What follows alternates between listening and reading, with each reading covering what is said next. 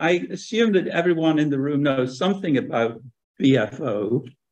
What I'm going to do now is provide a basic introduction to the contents of BFO, a basic introduction to how it's being used and by whom and why, a basic introduction to what's happening in Washington, D.C. as we speak almost, to make BFO what we hope will be something like the government ontology, or rather the top level of the government ontology. And by that, I do not mean that the only government is the one that's in Washington, D.C.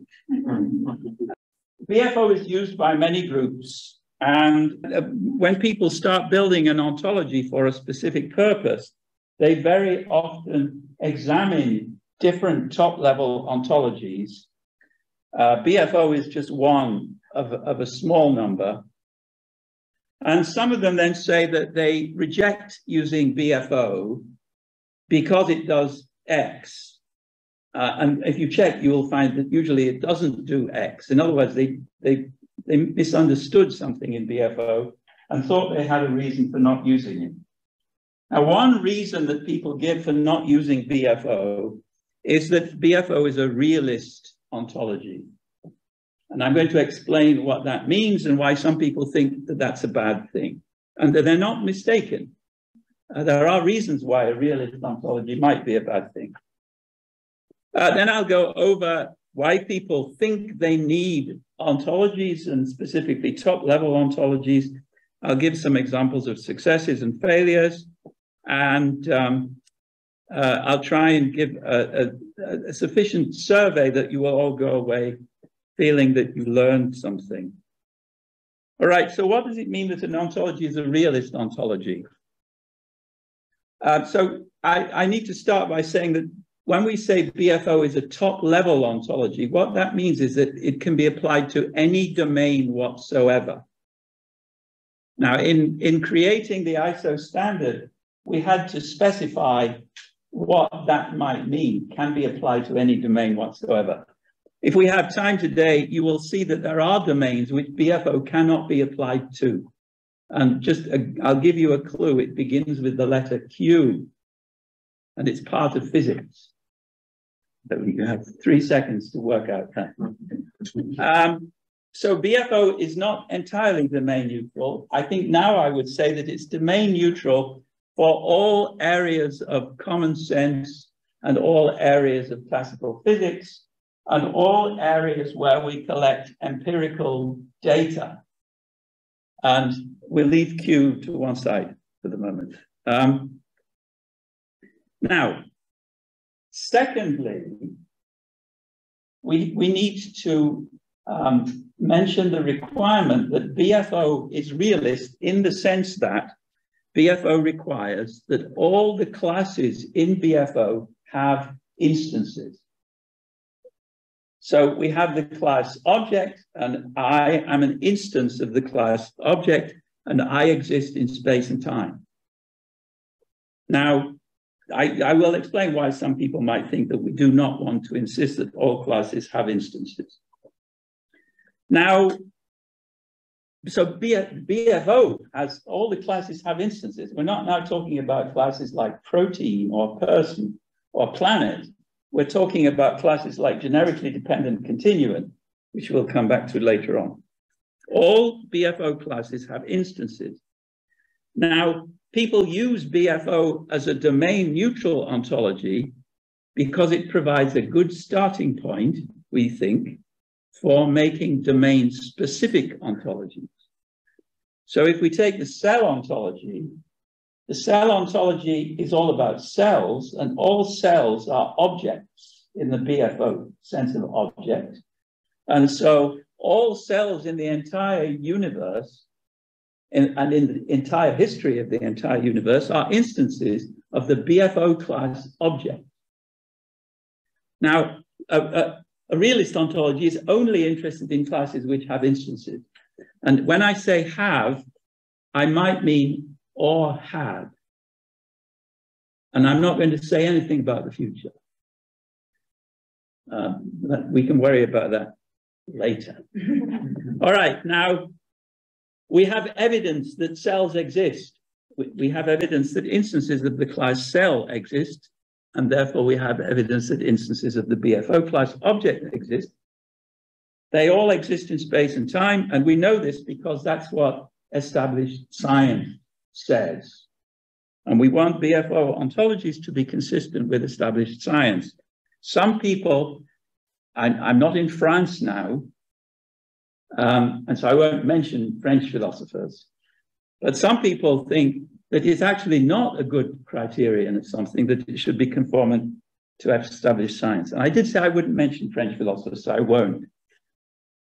Um, now, but there are, for different reasons, the BFO conformant domain ontologies which do not satisfy the principle that all classes have to be instantiated by instances in space and time.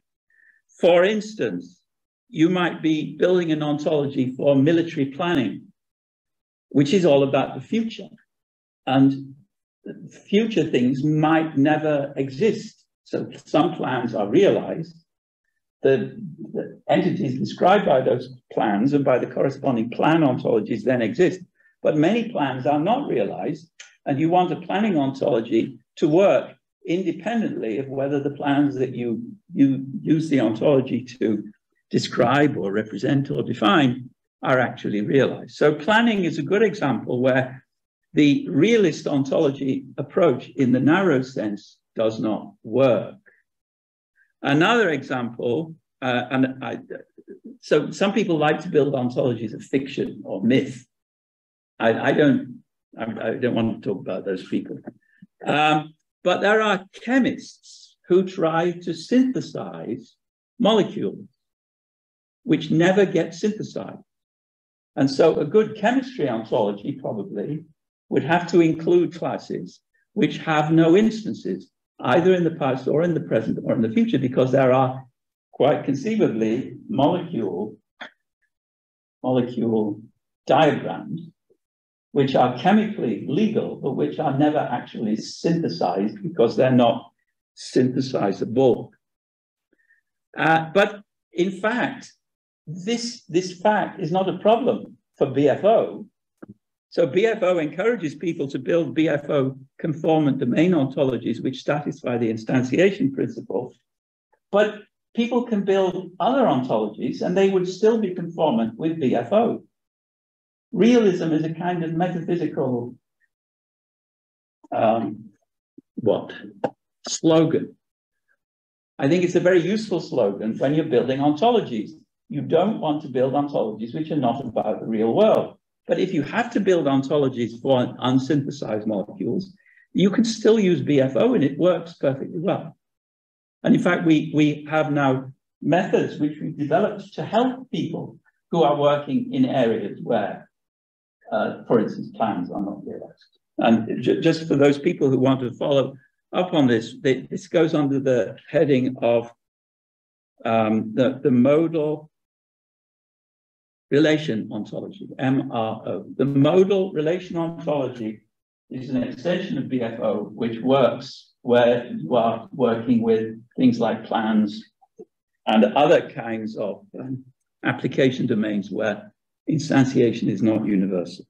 All right, this is BFO. It's quite small.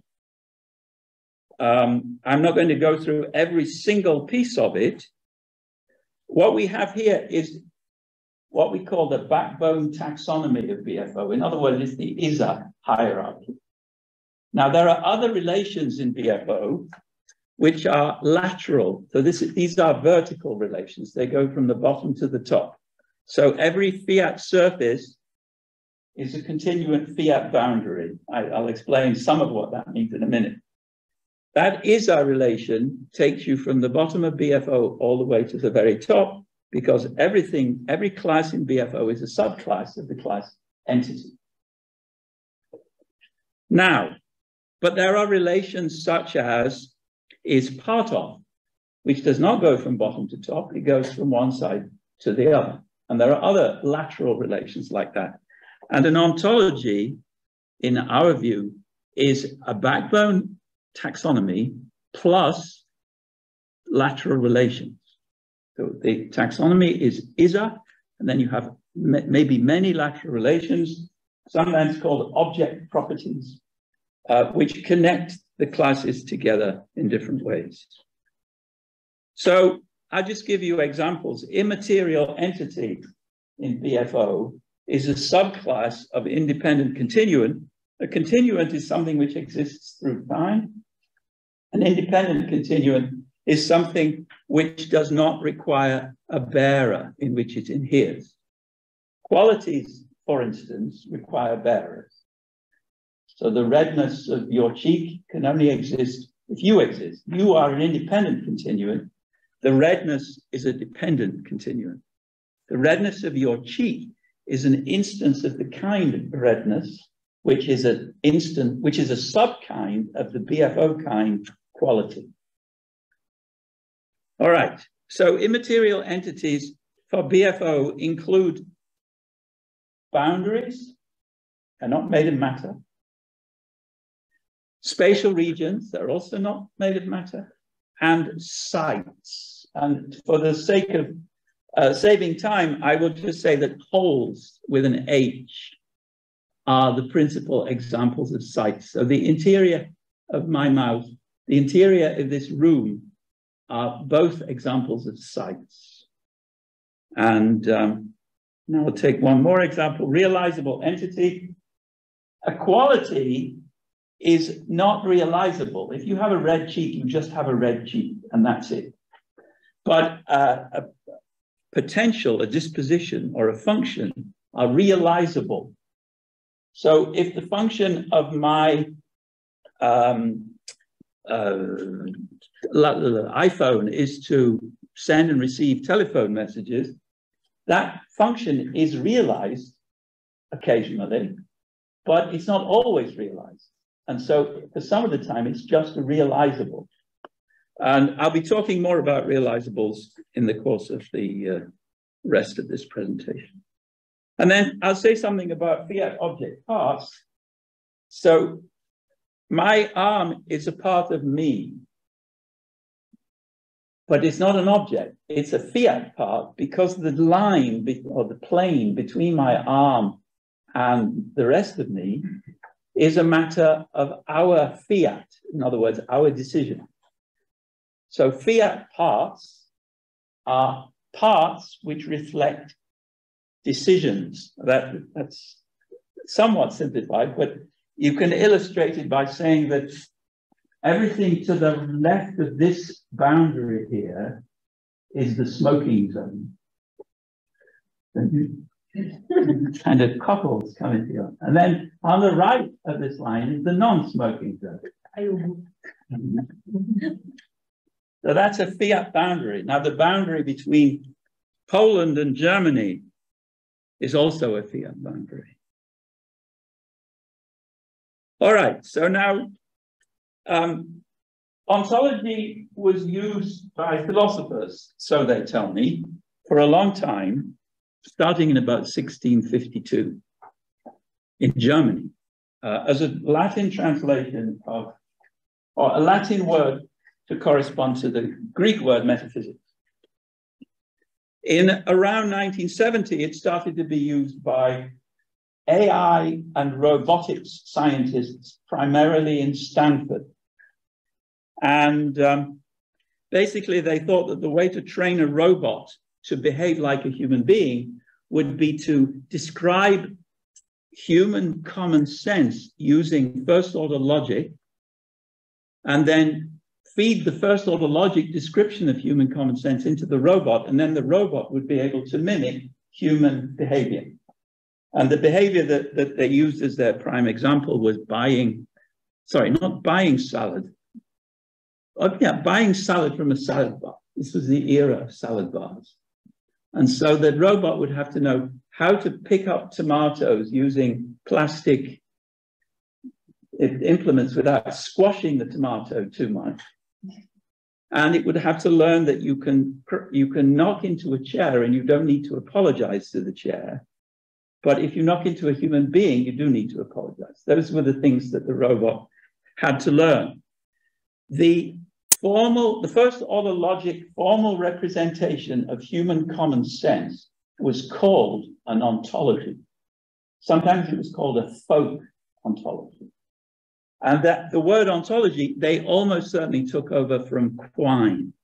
So those of you who know some philosophy who were in the room will know that Quine had a very special approach to ontology, which uh, was, was uh, it, it, led to the uh, coinage of this word folk ontology. And then the, the next step um, was the fact that, that you had different groups building ontologies and they needed to be able to compare them. And so they invented something called knowledge interchange format. And by a long, long set of stages, the knowledge interchange format eventually became what we now call OWL. All right, now a famous man in all of this, another Stanford man from this group who is still alive and still selling his thing. Um, it was Doug, Doug Lenat who created a big database called Cyc, which is short for encyclopedia. He now sometimes calls Cyc an ontology.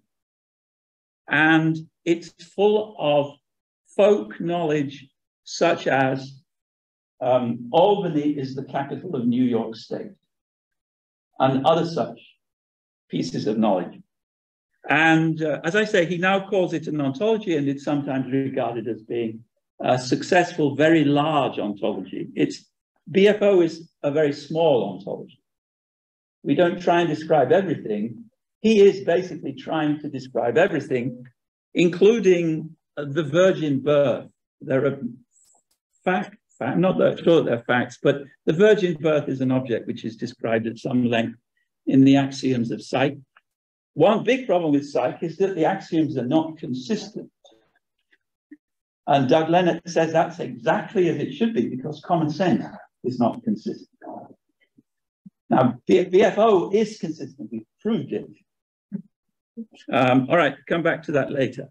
So the, the, the, first really interesting contribution to all of this was by Patrick Hayes in his Naive Physics Manifesto, which described the methodology of robotics that I just uh, hinted at, but he described it in a formal theoretical way. And I believe that it was Patrick Hayes's Naive Physics Manifesto and, and, accompanied by a paper called Ontology of Liquid, Liquids, which is the true origin of modern day ontology. And, um, and they're still really interesting pieces. And then we get knowledge interchange format. Uh, Tom Gruber was a, an important person in the knowledge interchange format world. And he, he it was the begetter of Siri. So you all have Siri is an ontology app. So you all have ontologies in your pockets, like it or not. And this is what an ontology in Siri might look like. So you have universals for things like meal event or movie event, and then you have instances of things like cities where you might see movies or eat meals. And this is this is what I was talking about when I said that all classes in BFO have instances. The ancient instances are the particulars, particular cities, particular zip codes, and so on. The classes are the universals, which are uh, in the top of the um, diagram here. All right, now the knowledge information format is, is being made more and more mature. And Tim Berners-Lee and his colleagues in 1994 introduced the idea of the semantic web. The idea was that now that we have an, a, a, a somewhat coherent version of OWL, the web ontology language, which is a kind of formalized version of HTML. There's a long, long gap between HTML and OWL. But by 1994, we have something which can serve as the basis for a new kind of web, a semantic web. And it's semantic because it's described using a formal language with a semantics in the classical modern model theoretic sense. And it would be nice if we had a semantic web, wouldn't it? Said the people in the paper in Scientific American in 1994. And I agree, it would be nice, but we don't have anything like it. We have a lot of things going on under the heading of semantic web, too many things going on under the heading of semantic web, and some of it is good. And then we have the, the resource description framework, then we have Protege, and then we have the, the first real version of uh, OWL in 2004. And, and then we have the whoosh of linked open data. And nowadays we have knowledge graphs, some of which is really good. All right, now, but they all failed. All of those ontologies built, including Cyc, if you look at it, they all failed. Um, so most semantic web ontologies fail. Um, and it's hard to think of ones that succeed. And there are lots of reasons why they fail. One reason is it's easy to build the damn things. And so everybody wants to build one. And so everybody has their own ontology.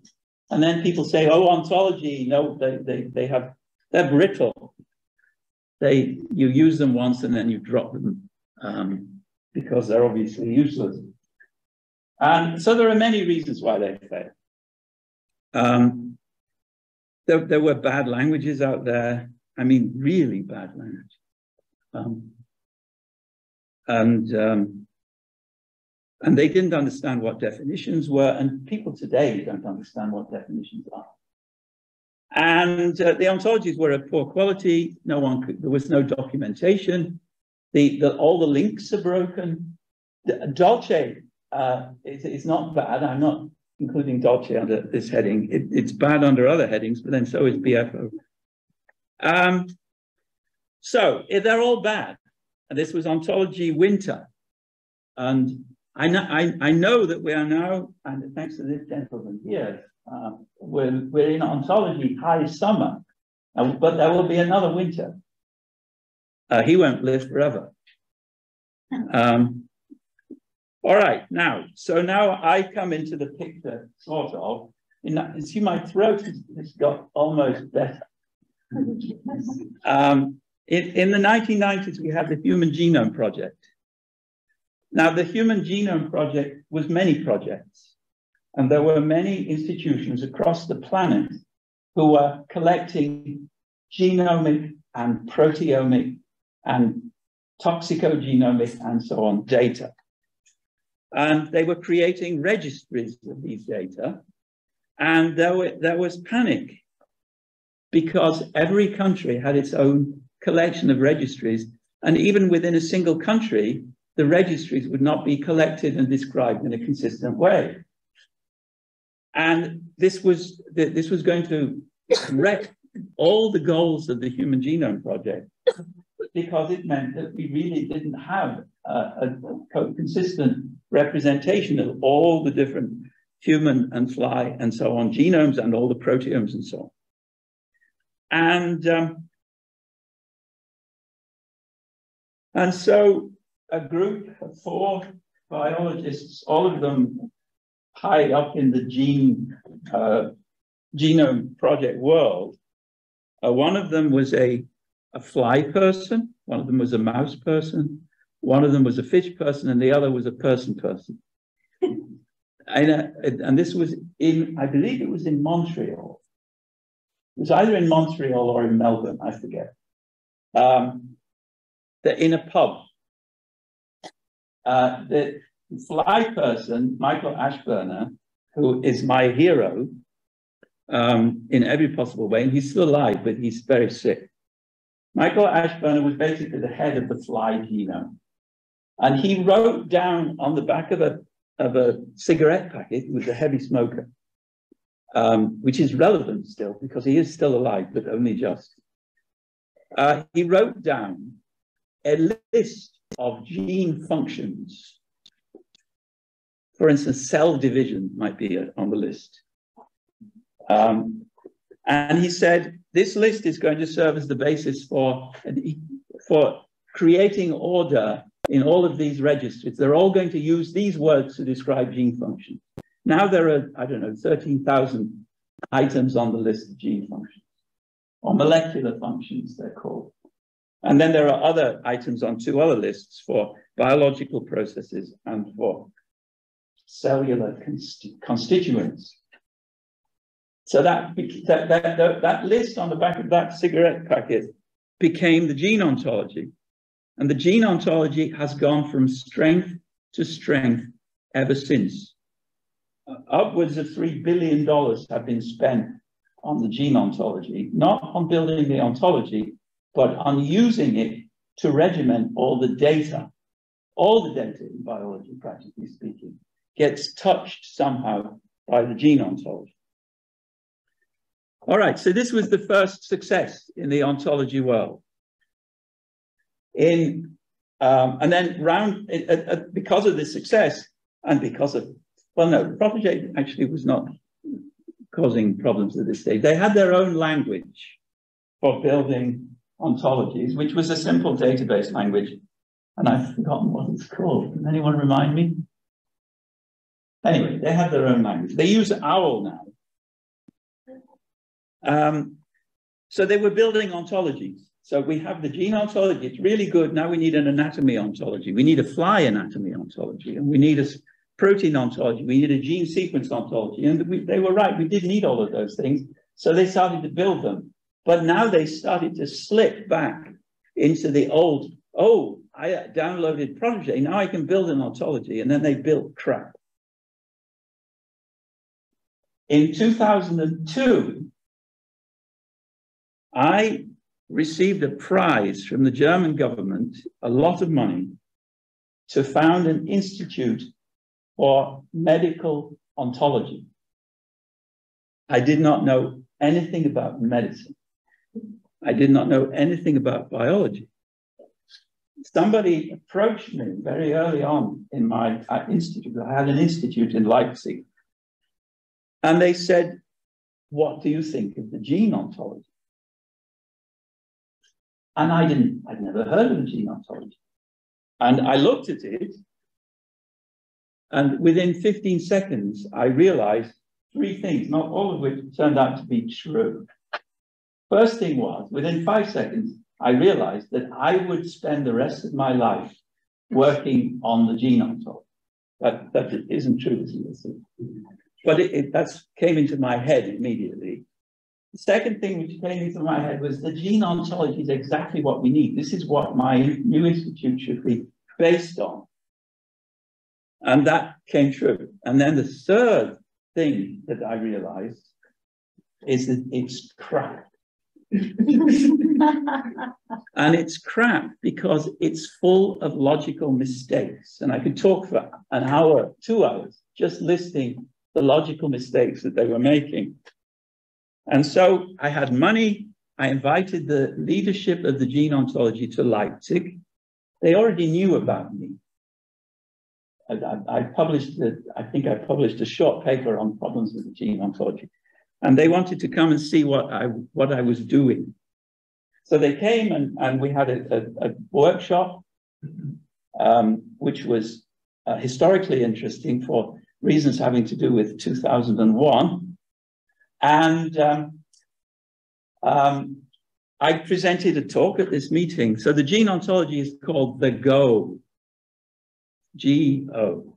And so my talk was called STOP, which is short for Smart Terminology Through Ontological Principles.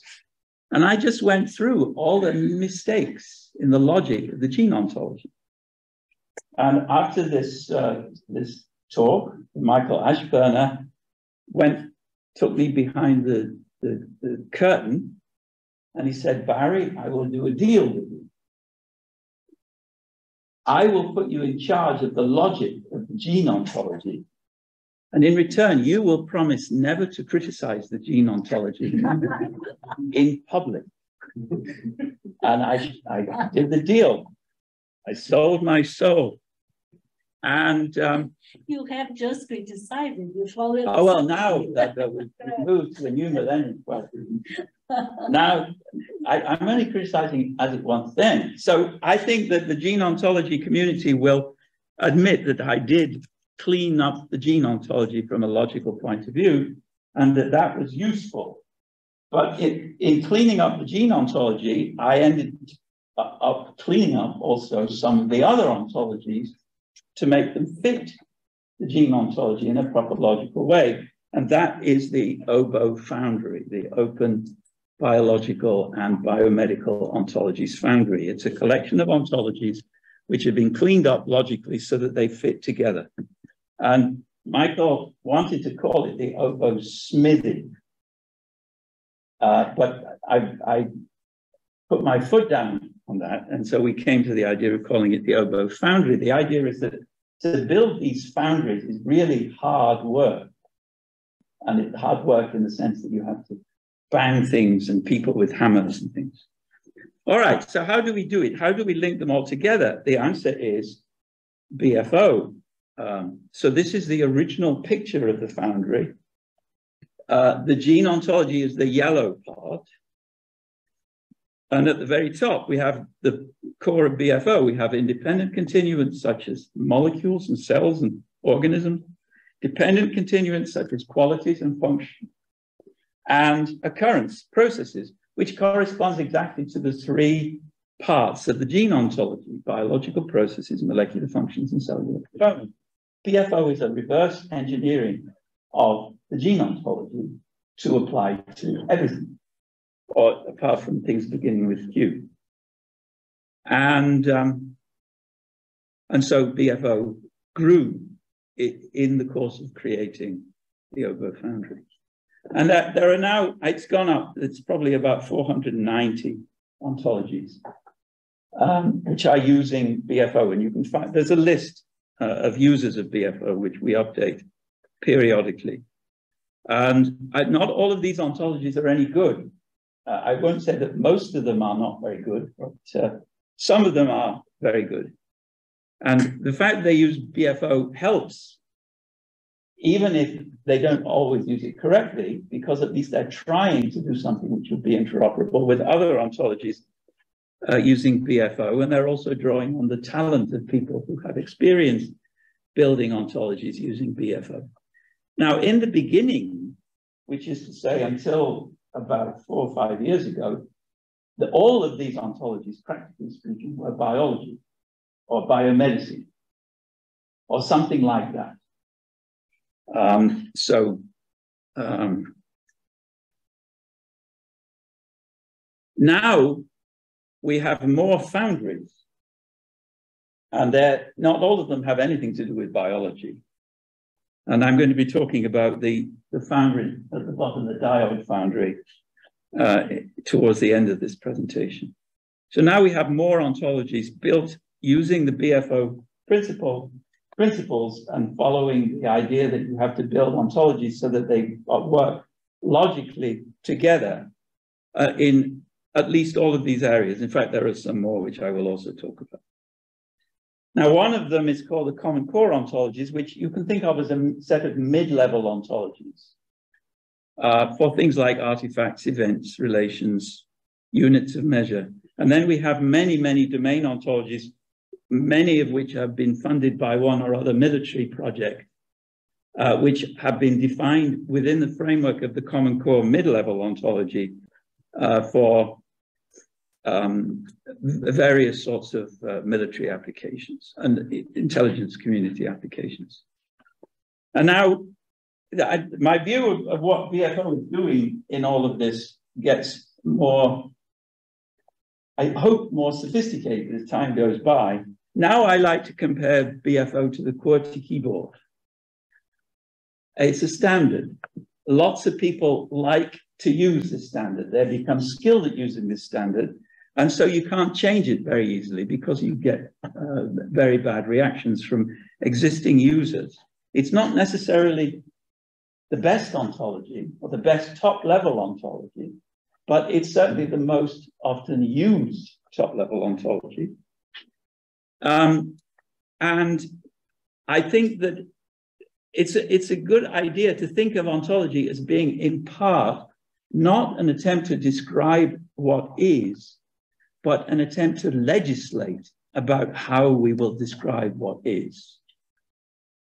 And I'm not sure whether that's helpful, just stated in, in, in this form, but I know from my own experience that very often when I'm arguing with people in the course of building ontologies collectively, that I re repeatedly reach the point where I say, Here, we just legislate, legislate. It's like driving on the left. It's obviously, it's not obviously the right side of the road to drive, but you need to make a choice. And that choice is a matter of legislation. And that kind of choice is very often necessary when building ontology. All right, so the ISO standard will exist pretty soon in four parts. Uh, part one and part two already exist. As you can see down there, you spend 118 francs, you can get a PDF copy that's about 18 pages long. But if you click on the link in the blue box here, you can get it for free. and that's because ISO gives away ISO standards free if they are used to create other standards. And the, the, this particular ISO standard, both parts one and two, and I assume this will apply to parts three and four also, are used to build other standards. That's what they're there for. And so they're free. So this describes the requirements for being a top level ontology. Part two describes BFO and shows that BFO also meets those requirements. And this, this part two, you can also get free by pressing on the yellow, uh, the blue button. And now this is a part of a list of ontologies today, which is to say within the two years of the appearance of the ISO standard, uh, which are outside biology and medicine. So in other words, where BFO was initially used primarily in the medical and biological sphere, it's now used in many other spheres. Not all of these are post ISO, but many of them are, and the, the more important ones are, uh, because people in different domains, not just in biology and medicine, uh, but also in other domains, and I, military, I keep repeating, they need ontology too. And they have discovered that if you are, if you need ontology, then you need ontologies which are organized in some kind of suite, and then you need a top level in order to give logical coherence to the suite. All right, so let's. I, I was going to have a slide, which would be my only French slide, which said question. but I forgot. So any question? I have a very ontological question. Yeah. Your example about the arm being a free yeah. part. In my view, arm is, is a kind of independent continuant, even being attached to the body because it is, uh, I mean, has a concept, is full of personality. Yes, the, the issue is exclusively the nature of the boundary.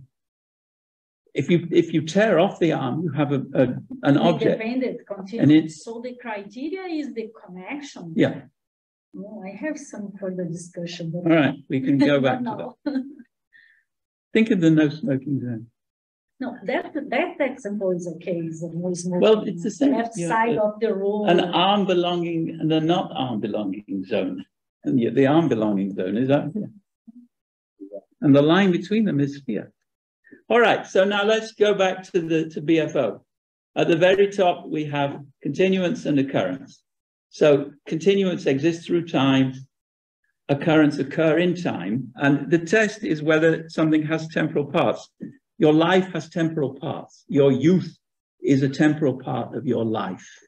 It's not a, it's not a part of you, it's a part of your life. You do not have any temporal parts. You have physical parts or three-dimensional parts or spatial parts. Your arm, for instance. Uh, but your youth is not a part of you, it's a part of your life. So the life is an occurrent, you are a continuum. And we now distinguish between independent continuants and dependent continuants. Now, thing, object, and so on are words which can be used to describe independent continuants. And people use words like attribute or property and so forth to describe dependent continuants. We will, we will talk about the different kinds of dependent continuants in a minute.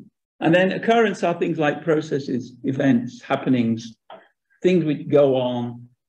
Um, sometimes processes in which nothing goes on. So the process of these, of these lights being switched on is an occurrence in BFO terms because it has temporal parts, namely the morning lights being switched on and the afternoon lights being switched on.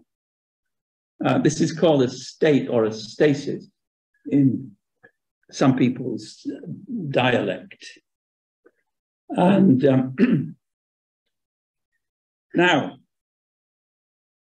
qualities and roles are the two big groups of attributes. And qualities would be something like your temperature, your height, your weight.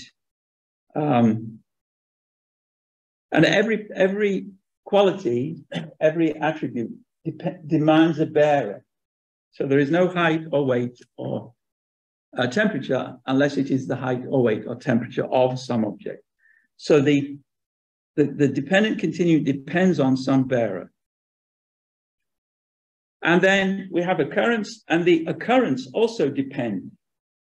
Every event depends on some participant. There are no events, no processes, no incidents, no happenings which take place unless there is some independent continuum in which or between which they happen. And all of these are axioms in the BFO axiom set. And now we have instances which do not belong to BFO. BFO is above the line, and then all the instances, all the cells, all the molecules, all the planets, all the galaxies are instances of the BFO kind object. And um, so above the line, we have what we sometimes call classes. I think I used the word kind already, types, universals. That really those words all mean the same thing. They are what is general, and then the instances are what is particular. And qualities have instances. Your weight is an instance of the kind weight, and my weight is an instance of the kind weight. And um, and now databases typically are about instances, where ontologies, again, typically are about types or classes or categories or universals or generals. And then we use the ontologies to tag the instance data. So this is a very, very crude dichotomy. We, if we put the two together, we get knowledge graph. And now Ryan Rikuchi again, I, I, I should change this slide. Um, is an instance of the kind human being. So that is actually him. It's not a photo of him. Actually, you he's here. uh, he is an instance of the kind human being, which is a subkind of the kind object, which is a subkind of the kind independent continuum. And then there are lots of occurrences which are instances of process. And now we have um, more complicated examples, the Hoover Dam and the resilience of the Hoover Dam, of those are instances. And the decline in resilience of the Hoover Dam over time is an instance of the kind process. So now we have a process which is a change in an attribute of an object, rather than a process which is an in, in, in, which is an example of an of an instantiation of change in an object. Change in attributes means it gets less and less resilient. Change in object means that it loses stones gradually becomes smaller. So on the left, we have what is, and on the right, we have what happens. And Ryan's here again. So Ryan's temperature is an instance of the kind temperature, which is a subclass or subkind of the kind quality. And Ryan's life is an instance of the kind life. And we can put all of those together with information. Uh, so information entities are about all of these other things. And they come in different varieties such as name, address, telephone number, and they have instances too, namely Ryan's name, Ryan's telephone number. And then there are seven Ryan Rikuchis known to man. I'm assuming there are at least seven. Uh, but there's only one name of this Ryan Rikuchi. It looks exactly the same as the other six names of the other Ryan Rikuchis, but there are in fact seven names of the seven Ryan Rikuchi. And so on. And that's a picture of Ryan. It's not him. That's a picture of him. All right, and then we've done this. We've done, oh yeah, despite realizables. I mentioned realizables uh, earlier, and I'll say something about them again. So dispositions are the most interesting example of realizable. So dispositions are potentials, tendencies. I have a disposition to lose hair. Bananas have a disposition to get ripe, and so on. So they're tendencies, potentials. We don't really know much about dispositions. There are many of them. There's lots of junk dispositions everywhere. We don't have names for many of them. Science is about them. Diseases are dispositions, for instance, which SNOMED doesn't quite get. But now some dispositions are really special, and that there are fewer of these. And these are the dis- dispositions which, crudely speaking, we want to have. We want there to be dispositions like this, and we call them capabilities. So um, your car can play music. I'm assuming you have a stereo in your car. Uh, but that's not the function of your car, it's just a capability. And so on. So people do the washing up, but that's not the function of people. And you can use a screwdriver as a weapon, but that's not the function of the screwdriver. So capabilities are disposition, dispositions which are like functions. It's good to have them, but they're not functions. They are side effects, if you like. And we're, we're still trying to work out a good definition of capability. We don't, capability is not yet a term in BFO. Disposition is in BFO and function is in BFO. Capability, it might take 10 years before we are really happy with the disposition. And, um, and that's, so that means that BFO develops slowly. Uh, the, the, the people who know a lot about BFO have been trained to be really evil when it comes to finding arguments against decisions. And so that means decisions are made very slowly and carefully. We, we like to think. All right, now functions are a bit easier. A function is the reason for the existence of its bearer. So the function of a screwdriver is to screw screws. That's why we have screwdrivers. The function of cars is to transport passengers. Function of eyes is to see. Function of your digestive system is to digest. Uh, functions are easy. Capabilities are like functions, but they're difficult. And one definition of biological capability is that they are dispositions which contribute to the realization of biological functions. So you can go away and think about that. All right, so we get the same kind of picture. So we realize the function of, of, your, of John's eye in John's seeing, which is a process. And now only certain kinds of entities have functions. And I don't know of any, any kinds of entities other than the ones on this list. So, or perhaps worker bees have functions. And uh, queen bees and worker ants and so forth, carpenter ants. I don't know. But organisms in general do not have functions. It is not my function to do ontology. I, I'm sure about that, even though it sometimes seems not to be the case. All right, now maybe companies, organizations have functions, but they're a bit like colonial organisms in respect, maybe. So there are many more capabilities than there are functions. And it, this is how it might look. The future BFO might look like this. So we have dispositions as the broad class, Capabilities are a subclass, and then functions are a subclass of that subclass. But now there are two kinds of realizable entities. In addition to dispositions, we, we also have roles. Now, dispositions are defined on the basis of the physics of the bearer. So the reason why I have a disposition to go bald is because of the physics of my head's metabolism. I don't know. Um, roles are defined externally by decisions, by demarcations, by, by signings of contracts, and so forth. And so roles are the, the products of, of social organization, basically. Being employed is a role. Being fired is a role. And you can be employed um, because you're contract that you signed four days ago comes into effect at midnight in a week.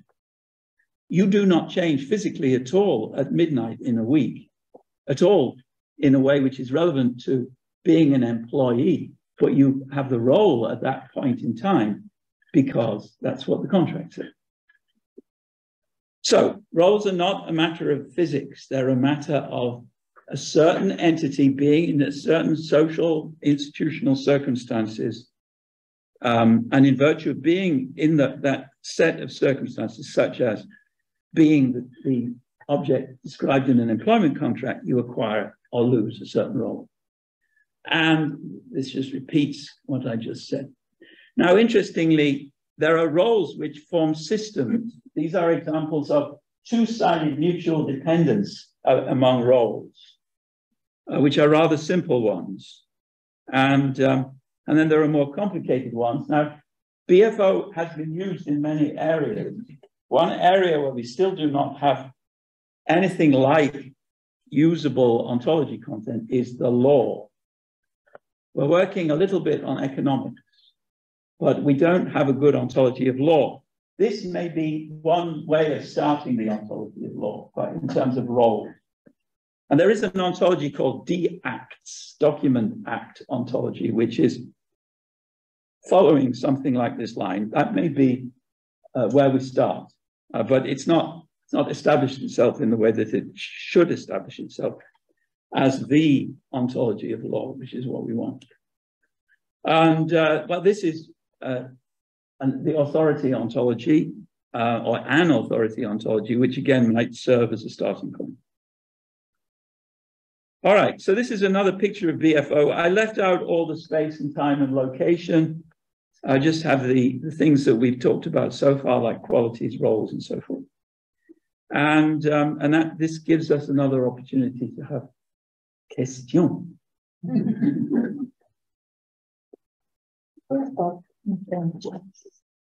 Frank. Just a quick one for my clarification. So when you have this example with the names, so the information yeah.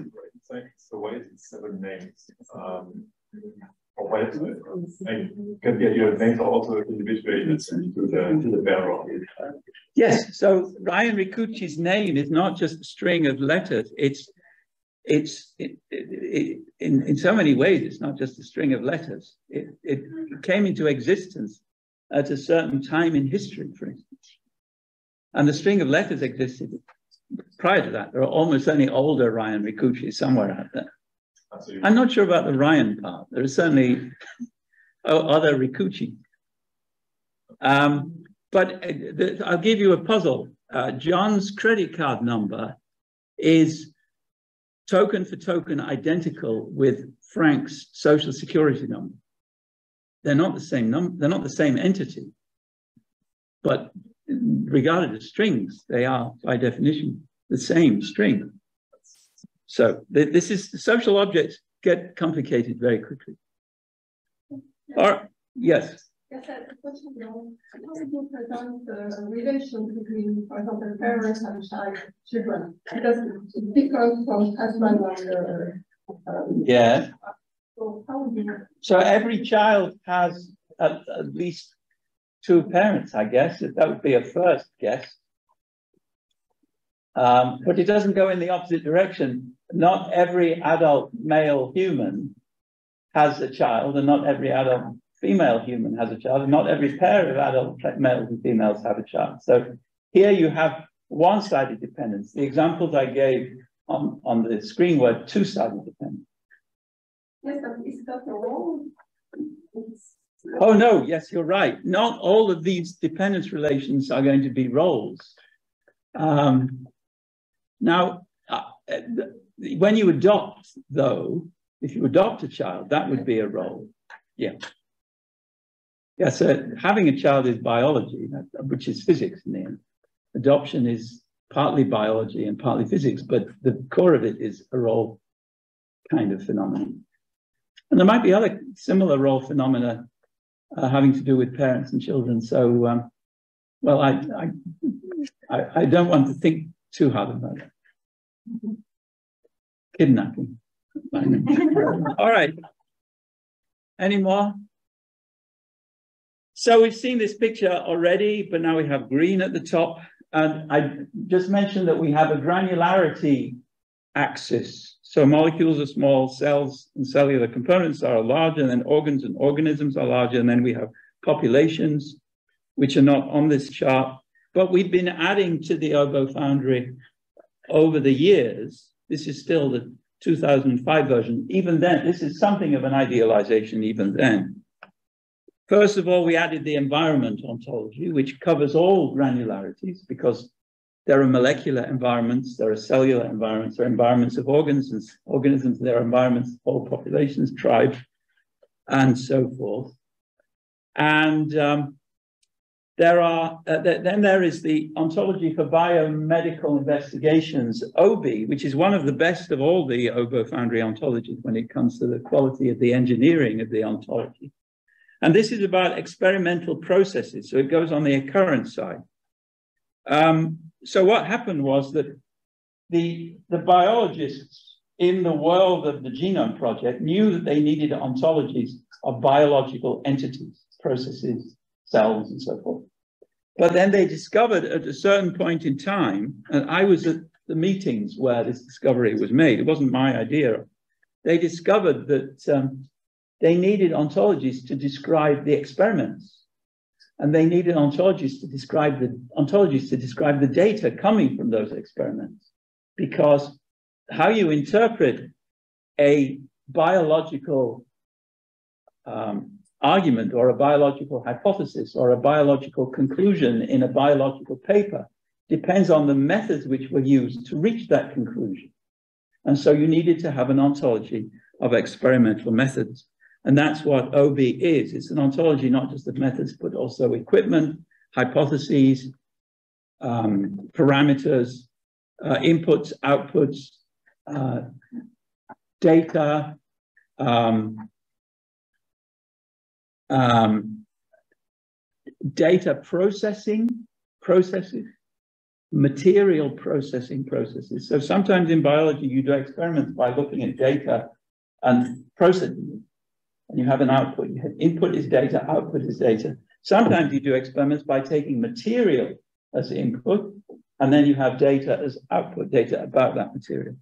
Then they realized that they needed an ontology of the evidence that would be generated by an experiment. So there is something called the evidence ontology, which distinguishes, for instance, between conclusions which were drawn by, uh, by direct observation conclusions drawn from um, uh, computational uh, computation. And then I think one of them is something like uh, inference drawn from uh, paper. Uh, so that it's not a very, not, not all of the codes in the evidence code ontology describe strong evidence. The idea is that if you have multiple kinds of evidence for a given biological conclusion, then you should be able to document that in something like an ontology. All right, so then we, so we have the ontology for biomedical investigation. And we realized, and here I was involved directly in the decision making, we realized that we needed terms for things like footnotes or sentences or vowels or um, instructions or papers or grants, I grant submission documents and so forth. And, uh, and so they were happily using Protege to add all of these terms into OBI. But then I said, footnotes are not biological. They don't belong in a biology ontology. So it's not only biological investigations, with biomedical investigations, which use footnotes or vowels.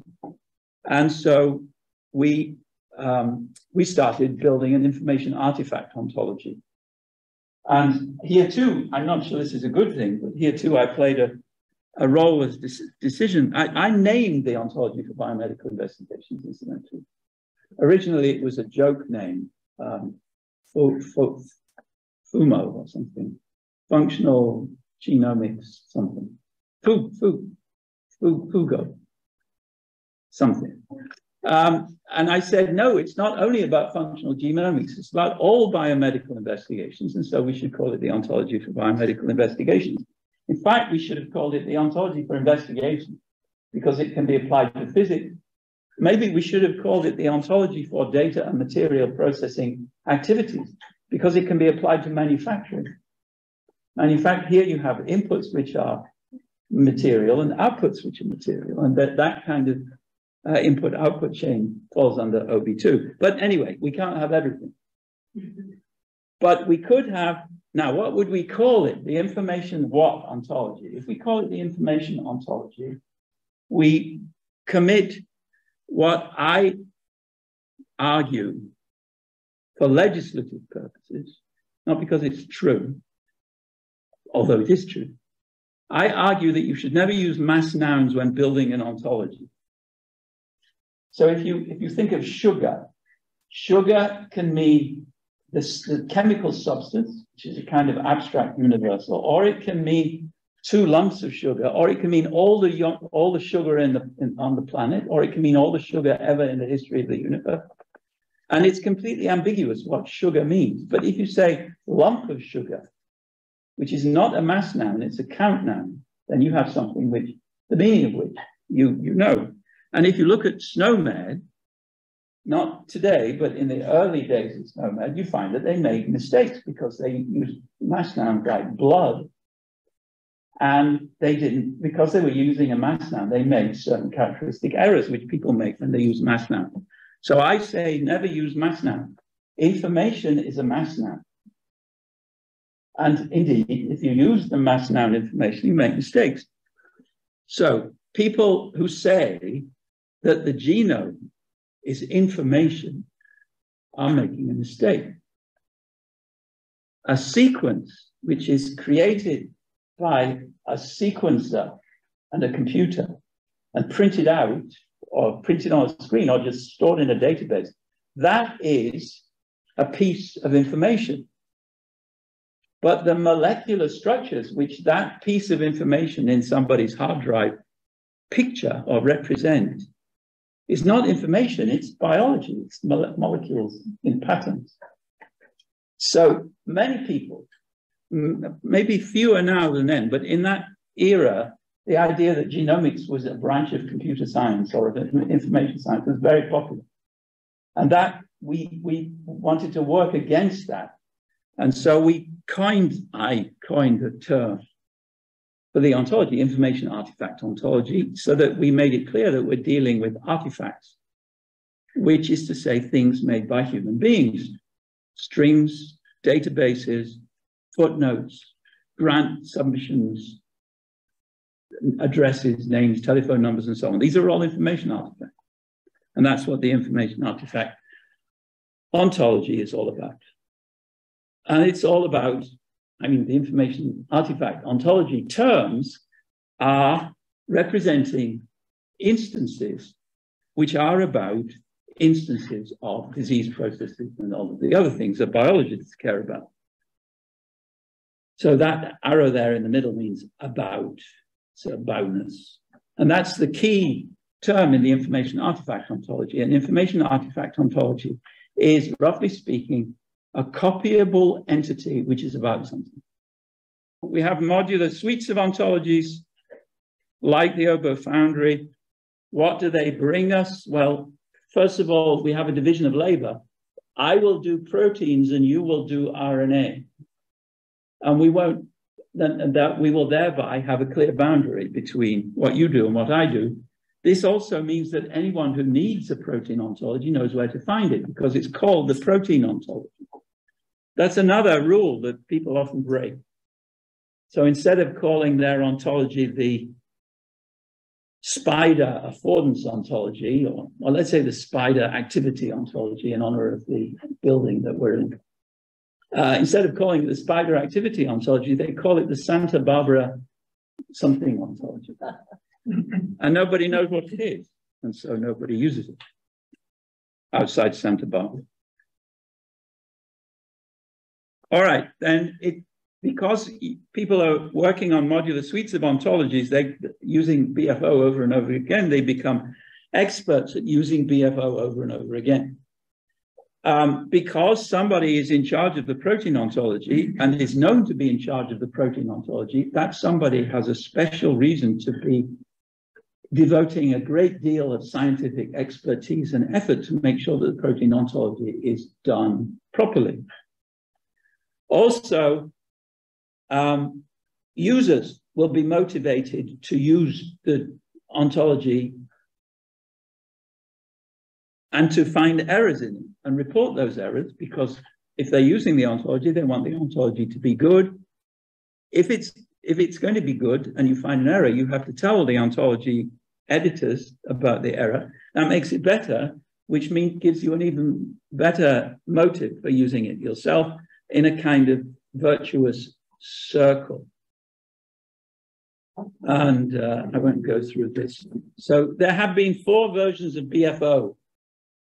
Uh, version number one was released in uh, 2001.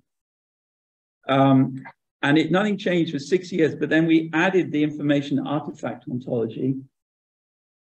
And once we did that, we realized that we needed a term in BFO, which would be the parent of information artifact. And we didn't have one. And so we created one, and I'll talk about that in a minute. In 2015, OWL 2 came out, and so we, we did a, a, a an overhaul of BFO 1.1 to make it conformant with BFO 2. And then in 20, in 2020, we released BFO 2020, which was released uh, to take account of the fact that in the ISO standard, data uh, that, so there is data associated with the ISO standard uh, about the first order logic formalization of BFO and also about the consistency proof, uh, which is part of the accompanying data to the ISO standard. And so that is the uh, core for the changes which we made in 2020. BFO itself, the picture that you saw has changed hardly at all. It's, it's, the definitions are a bit tidier. Uh, the most important change is that we now have a first order logic formalization. All right, so that's the picture again. And now I'm going to talk about how we dealt with information artifacts. And um, so we've already seen this. There are two kinds of specifically dependent continuants. there are qualities, which include patterns. Pattern of a chessboard, for instance, would be a, a pattern and um, a pattern in the BFO sense, which is an, a continuant. And then there are realizables like functions and roles. And now notice that we say that these are specifically dependent continuants. In the Middle Ages, the philosophers who dealt with these questions had various axioms. One axiom was accidents do not migrate. So they had substances and they had accidents. And one famous Italian metaphysician uh, concluded, this was in the time of the plague, concluded from this axiom that the plague does not exist because accidents do not migrate. They couldn't see the bacteria or the virus, I didn't know which it was. And so they didn't know that they were there. They just saw the accidents, presumably the symptoms and so forth in the people. Since accidents don't migrate, there can be no plague. And they, this argument was seriously put forward, and it's the motto for a, an Italian novel of some repute called You Promise those Sposi. Anyway, I recommend the novel, and the, the motto is about this why the plague does not exist. Now, the plague does, does exist uh, because um, viruses can move around and bacteria can move around. But specifically dependent continuants cannot migrate. I cannot have your headache. I cannot have your height. I cannot have your name. I cannot have your um, capabilities. Even if my capabilities are qualitatively identical to your capabilities, my capabilities are mine and your capabilities are yours. They are specifically dependent on their bearer. But there are some dependent continuants which can migrate. And they are generically dependent on their bearers. And an example would be, um, well, the PDF file on my laptop. I have a certain PDF file, I send it to Ryan, and now the very same PDF file is in two places. It's copyable. That and if, if I now destroy the PDF file on my laptop, the PDF file still exists because it's on his laptop. And that's what we mean by generically dependent continuants. We mean continuants which are dependent upon some independent continuant bearer, such as a hard drive, but which are not specifically dependent on any bearer. All you need is one, but it could move around. Typically, there will be many copies. So a novel is a specifically dependent, is a generically dependent continuant because the novel exists in many copies. Emails that you send are generically dependent continuants because they exist both on the sender and on the receiver side. And DNA sequences are generically dependent continuants too, both in both senses, both the sense of the sequence in the sequence database and the sen sense of sequence as meaning a molecular pattern, which is copied, as we all know, trillions of times in every human being, for instance. All right, so that's where we get information artifacts into BFO. They're all children of the new kind, new type, new universal that we introduced in BFO 2.0, namely generically dependent continuant. Now, we did not introduce the new kind information artifact because generically dependent continuants are uh, entities which can uh, which are domain neutral. You can, in principle, find generically dependent continuants in any domain. But information artifacts are restricted to domains where there are people like people, sorry, where there are entities like people who make copies of things, like email. And so we added the term generically dependent continuant because it was of the appropriate level to go into a top level ontology. And um, and now I don't think I'll go into this, or maybe. So in we, we now realize that we needed to add a new relation. So let's suppose you make a plan, you maybe write it down, and it's in your head. And uh, you're going to realize it, and you have a team of people ready to follow the specification that you dictate. Then the, the plan is concretized in patterns of ink on your printed document where you've been writing out or written documents. In other words, it's made concrete. It's turned into something which is more like a specifically dependent continuant. Patterns of ink, little piles of ink, raised levels of ink, which we call letters of the alphabet. And also, when you read the plan specification in your head, and there's something like a concretization of the plan in your head. And that's what you will realize. That will be the starting point for your realizing the plan. When you say, you read it and you say to yourself, I like this plan, let's realize this plan. And then you tell all your underlings to go forth and realize. And so we added the relation of concretization to BFO. And the whole story looks like this. So we have generically dependent continuants, then there are information entities. There are things like gene sequences on the other side, the biological side. And these are all examples of information artifacts. So a symphony, by that we mean the that which is concretized in the score. And, and sort of in the performance too. The performance is not so important, it's the score which matters. And, um, and poems are the same. And um, and then we have information bearing entities, which are material entities. They have patterns according to what has been written onto them. Uh, the pattern on your hard drive is an information quality entity, which is a kind of quality, which is a ki kind of specifically dependent continuant.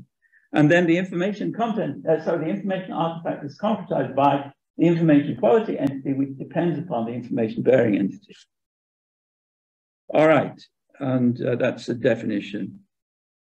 So an artifact is something created deliberately, and an information artifact is an artifact that can be the bearer of information. All right, now we have more time for question. Anybody? So my question is regarding the, um, you mentioned that uh, BFO is a realist uh, yeah. I was wondering, like, which ism do you think is uh, presentism, drawing of inverse? Um, I was wondering, maybe you can reflect on um, the points that you have there. So I hate four dimensionalists. And so there are some people who develop four dimensionalist ontologies, and uh, we could talk for an hour about this. Um, You don't have it. um, and the oil industry actually is the, the principal hunting ground of these people.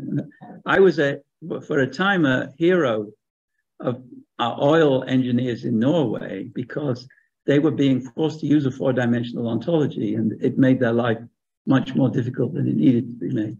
I don't like four dimensionalist ontologies, and um, I think that they are incoherent. And it's interesting that of all the ontologies which have been, which have some sort of a track record, namely Cyc, Dolce, BFO, GFO, UFO, Sumo, they're all three plus one dimensional. In other words, three spatial and one temporal ontology.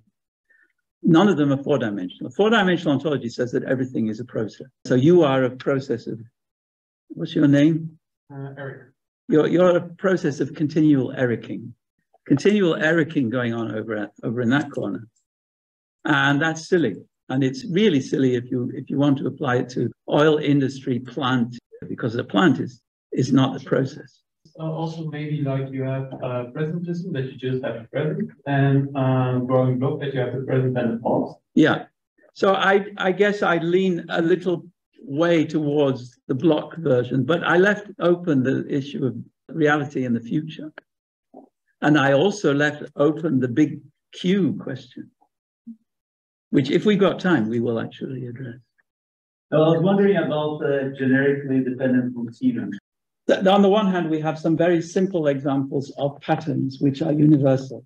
And maybe the chessboard pattern could be regarded as a, as a universal. It's, uh, it's simple. Enough. But if you take the pattern which is the fjords of Norway, that's too complicated to be a universal. It has to be thrown together by accidents. We know that it was by accidents of glaciation and so forth over many millennia, I guess. Um, now, Tolstoy's War and Peace is more like the fjords of Norway. And even a relatively short poem is more like the fjords of Norway. And even the president of Italy, the, pre the president, the office, is more like the fjords of Norway. Now, what, where is the line between fjords of Norway type things on the one hand and universal, like square or triangle or vowel or I don't know. DNA. Well, DNA, I think, is on the Norway side of things.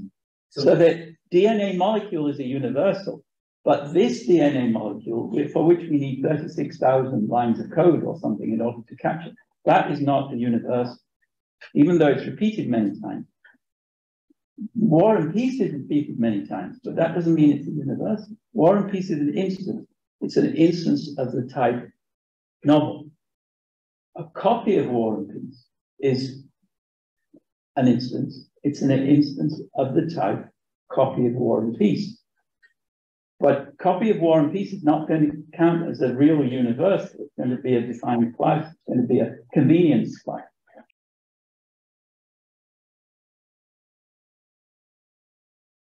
Okay, so now I'm going to talk about uh, foundries. So this is a hub and spokes picture that I like. The idea is that when we build a foundry, we're networking ontologies, and the networking arises in a number of different ways. So first of all, you start with the hub, which in, in many cases is BFO, and then you define domain ontology terms by using the hub. So you use the word object as a starting point for defining a cell, and then you create all the different kinds of cells and you package the whole thing as a cell ontology. And you do that for many other things, and it is being done for many other things. But now, in each case, when you introduce a new term and thereby a new class in your ontology, you define that term.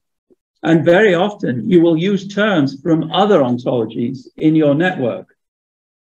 And all of these terms, both the terms as defined and the terms as they appear in definitions, will be associated with IRIs, so they will be networked together within the internet, but also they will be networked together because the same term might be used in 17 different definitions from 14 different ontologies. And so there are networking effects across ontologies through terms and through uh, internet connections And, um, and the OBO Foundry now has reached the point where it can maintain the ontologies as a whole, where you make one change in one term, then that means that you, when that ch change is made, it may have impacts on the 14 other places where that term is used.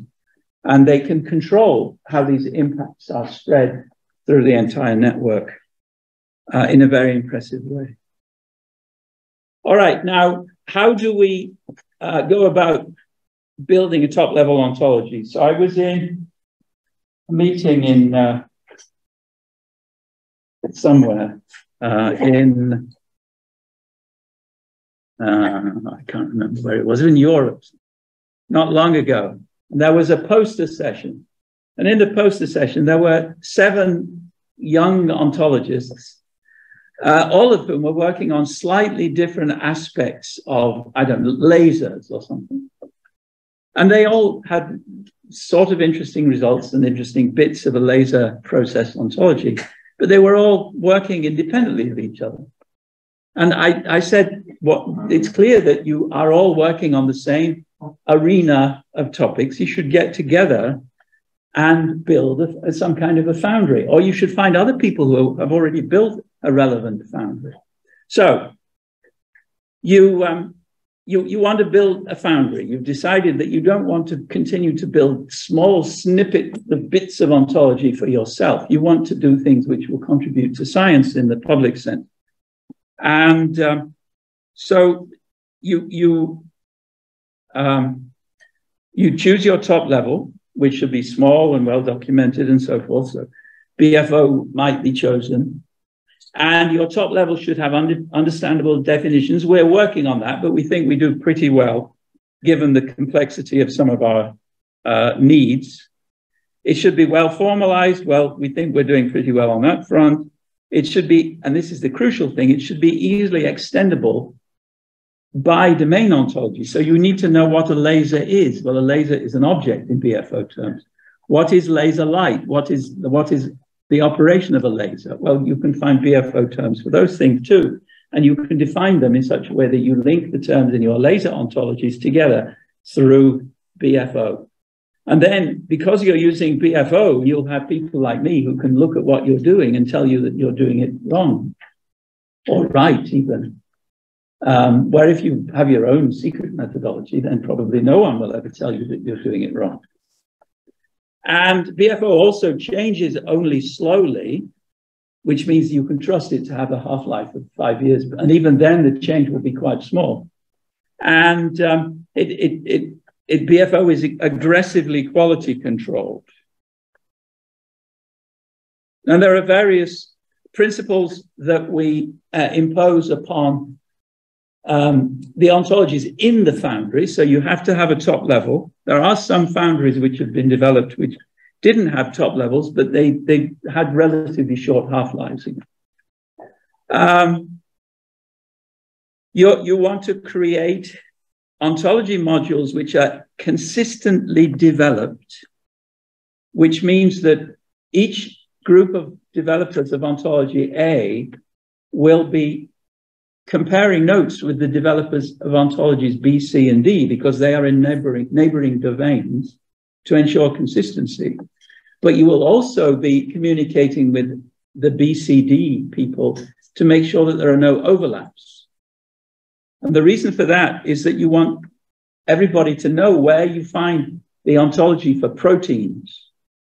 And if there are protein ontology terms in the RNA ontology or in the cell ontology, then that will mean that people will be disappointed when they find that they've been using the protein ontology for seven years and no one told them about those proteins, which for forgotten reasons were dealt with in the cell ontology.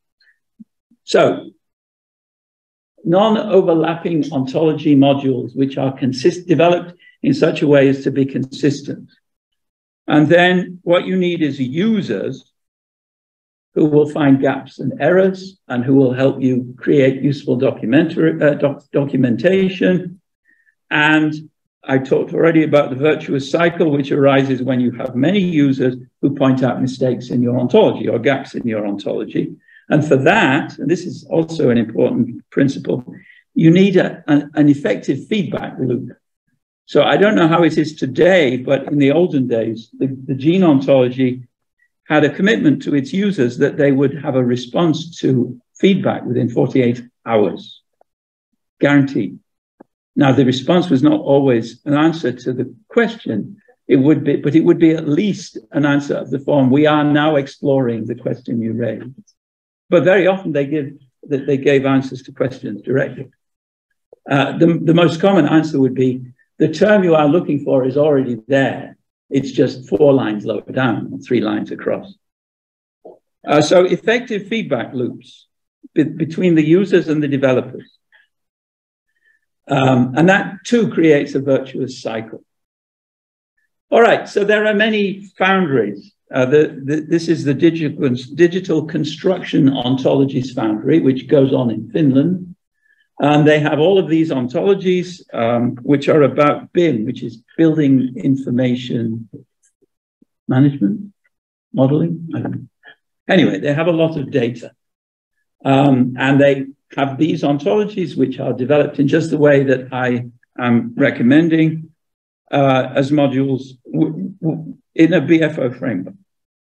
And you can see the BFO here is a pancake shaped, or amoeba shaped um, uh, grouping in blue at the top, and then all the building terms uh, descend from there. So asset role descends from role, for instance. Legal person role descends from role.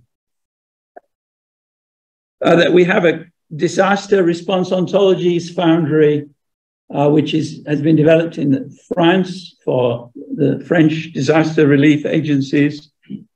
And, um, and now, most importantly, we have the DIOG foundry. I say most importantly, partly for purely chronological reasons. Uh, so we've been working for 12 years uh, to get the Diog Foundry ontologies um, recognition on the part of uh, the. So Diog means the Department of Defense and the intelligence community.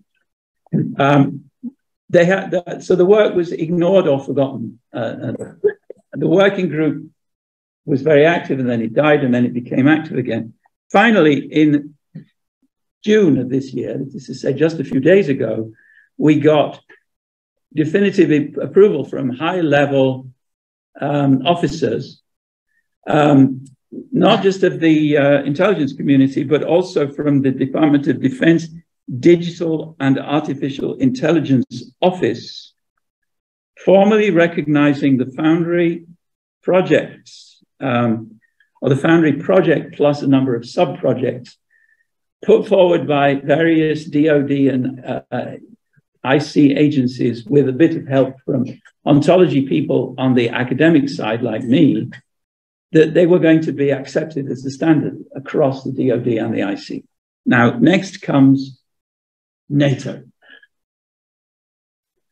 That's next week. Actually, no, yeah, next week.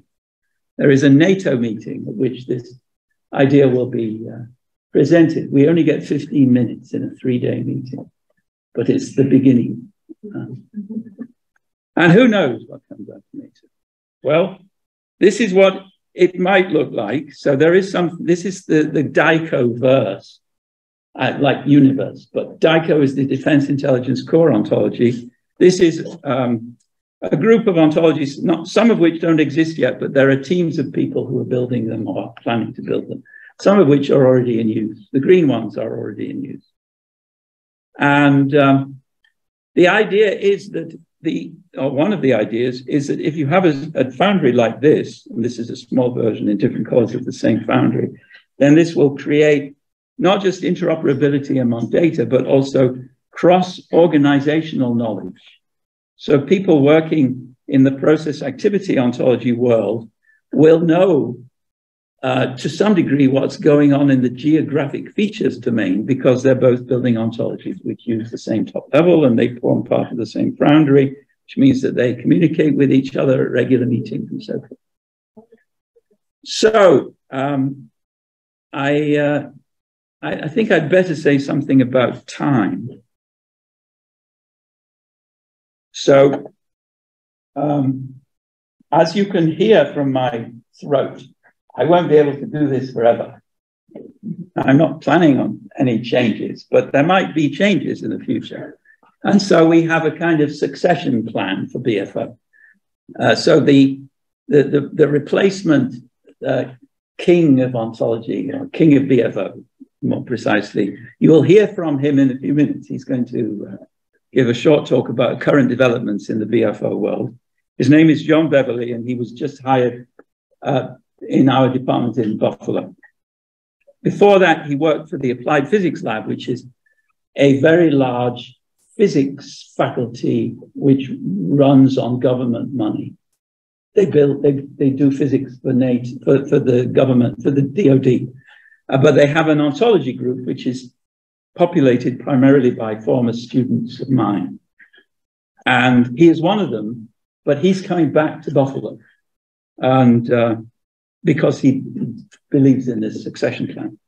But there is another member of the uh, BFO succession, uh, which, he will not be talking today, but his name is Alan Rothenberg. Now, Alan Rothenberg is a pain in the neck, but he's also brilliant. And so John Beverly is brilliant, and he's not a pain in the neck. Um, Alan is a pain in the neck because he wants to get everything right. OWL has a problem. It's very hard to get time right in OWL. And BFO is not a four-dimensionalist ontology, it's a three plus T dimensional ontology, another three spatial plus one temporal dimension. We want to get time right. One solution is not to use OWL, but to use first order logic. It's easy to get time right using first order logic. It's very hard to get time right in OWL because OWL will only allow two place relations. So you can say John loves Mary, you can say Mary loves John, but you can't say Mary loves John yesterday or tomorrow in OWL, because then you have a three place relation. Now, Alan has a, Alan, first of all, understands OWL probably better than anybody else. So he plays three dimensional chess with OWL, where the chess games extend into five years into the future. So he knows what problems lurk behind the scenes and he knows that the current treatment of time in BFO, actually, uh, and in any other ontology based on OWL is problematic. And it, it, for that reason, we um, released a version, it, it wasn't a, an official release, it was a version released for public debate, which just deleted all the temporal relations which are affected by these OWL problems from the ontology. So it, the classes were there, there is a hierarchy was there, all the time relations involving processes were there, but all the time relations involving occurrents were deleted. And people hated that. And they said, oh, BFO, it's become chaotic. In fact, we were trying to be very, very careful and avoiding logical problems which we knew uh, lay down the road. And if I had more time, I could I could describe those logical problems. Um, now we have uh, found a way uh, which keeps everybody happy. And so we're going to have a release version, and John Beverly will talk a little bit about that when he joins us in uh, half an hour or so. Um, but um, let me just describe Alan's solution. Alan's solution to these problems is indeed a solution. It, no one will like it very much because it's more complicated than what they like to see. But the solution goes like this you can't say um, John loves Mary at time t, because that's a three place relation. But if you define a new relation called loves at some time, and another universe, another new relation called loves at all times, then you can say John loves Mary at all times, and that's a two place relation. Loves at all times is a two place relation. John and Mary are the two place fillers. And John loves Mary at sometimes is also a two place relation where John and Mary fill the two places in loves at all times. Now you can generalize that. You can generalize it to include John loves Mary at all times when the lights are switched on, or when the grandmother is away. You can generalize it, but it gets more complicated. And so no one likes it. And so Alan is working with John Beverly and with other people uh, on finding a solution to this temporalized relation problem um, that everyone will be happy with. Now, the old version, before we deleted some of the relations in this uh, inspection version, worked. So it had logical, small logical time bombs, small time bombs built in, but it worked. No one noticed. No one had examples where these time bombs made any difference. Very hard to find examples where these time bombs make a difference, and they're usually quite artificial. So it's not a big problem in the practical sense. It's only a problem in the logical sense. If we want to get the logic right, we have to address temporalized relations. So I'm not going to say anything more about that. I'm, I'm just filling you in on what goes on behind the scenes. The release that John Beverly will talk about in a few minutes is logically in good shape and it's also practically in good shape in the sense that you can understand it quite quickly and it seems natural. All right, so now uh, summary on BFO. I, I, seem to remember that I have 200 slides here, so I'm not going to finish. Um, so Buffo is very small. It evolves slowly. It has an active user forum. It has a really large user, user base. And there are lots of people who know how to use it. And I, we've seen the examples of suites. We've seen the common core uh, ontologies. We've seen the principles. Talked about this already. I don't want to do all of this again. This is more about the, uh, the dates when these decisions were made. I keep repeating this. I must like it. Uh, and this is a one more piece that the Office of the Director of National Intelligence has approved, recommending BFO as the standard. And they're going. So the problem is, if you if you work with the intelligence community, you can't always know what they're doing, and they can't always know what they're doing. But he's created a space where ontologies can be developed in with all the classification rules um, in in place and maintained by people who know what they're doing. And now the final piece in this puzzle is that Ryan Ricucci over here, put your hand up, Ryan. Ryan Ricucci is in charge of a working group in the Department of Homeland Security to do for the Department of Homeland Security, which is, I don't know, 32 agencies or something like that, what the DoD IC ontology working group is doing for the Department of Defense and the intelligence community. And um, and he knows what he's talking about, and he's very effective. And he too is going to be using BFO, and it's going to be covering areas like infrastructure, cybersecurity, and so forth. Do you want to add anything? You might as well. Uh, well, I, will say that we have uh, two successful test events with a working prototype for semantic enabled pattern recognition for sensors uh, to be able to detect and reason autonomously about things in the air and take out reduced human in the loop tasks and then automate analyst queries for the routine things we know we want to ask again and again that we can use computers to do instead of people because people are prone to error and so on. And the second thing that we have going, we have five different ontology lines of effort that are not just um, thinking about or talking about or off the whiteboard into practical application. And the second thing is working a person-centric ontology so we can reason about the different types of people that come into our care to automate uh, determining what they're entitled for resources and how we consume resources to then inform a classic optimization problem of what to do with people in what order with the transportation logistics and cell capacities and medical care to treat people as uh, expeditiously, safely, and humanely as possible. So those are the type of problems that we're working on time now with practical applications that we want to extend and then across the, the agency. And we're thinking about how to go about next making sense of you know, a big conglomeration of agencies that all have overlapping missions, but very unique roles, and we we share work and leverage the virtuous cycle development. So thanks very much. And he will be here till the end of the uh, of these two weeks.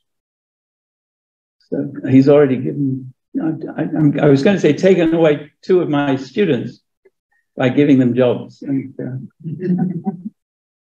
one way of, of viewing an ontology is that it's it's a computable lexicon. So a lot of what I've been talking about is getting people in different groups to use terms consistently, which means to use terms with have definitions which people share. And the terms are almost no, I, I would say in very many cases, ordinary terms that ordinary people understand. In biology, you have you very quickly move into very technical terms, but even there, they are terms which ordinary biologists understand. And this is one big difference between ontology and databases.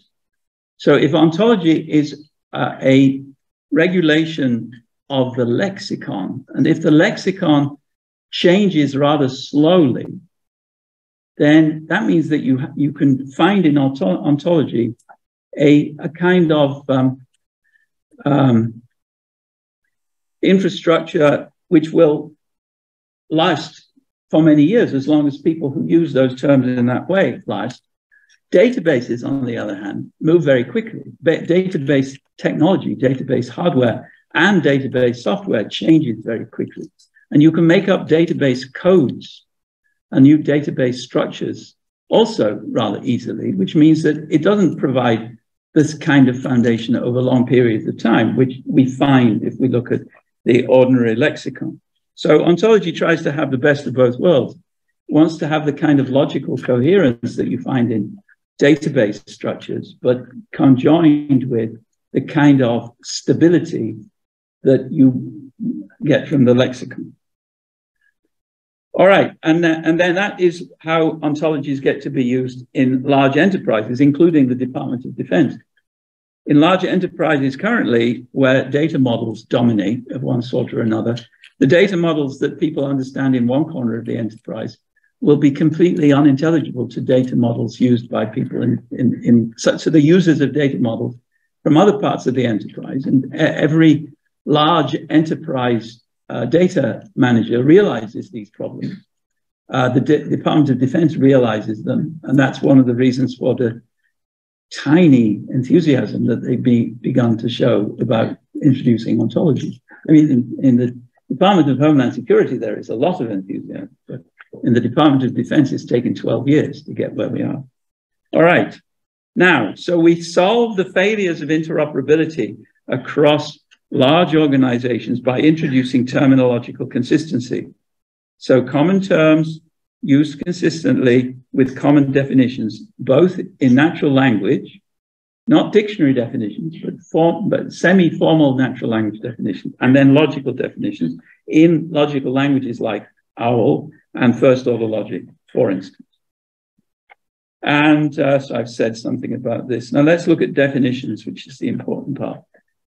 Now, if you look at definitions, and this is true in many, many highly uh, reputable organizations, they are really depressingly bad. And they don't really know what a definition is commonly. So um, there was some dictionary definition, but look at many of the W3C publications and see what they um, how, how they define basic words. So RDF, R means resource. Look at what look at the definition of resource in the official RDF specification. It's not, it doesn't tell you anything. Um, maybe because the word resource uh, is not meant to tell you. All right, so we want formal definitions for computer reasoning and we want natural language definitions for human use. And in both cases, we, we want real definitions. Now, what is a real definition?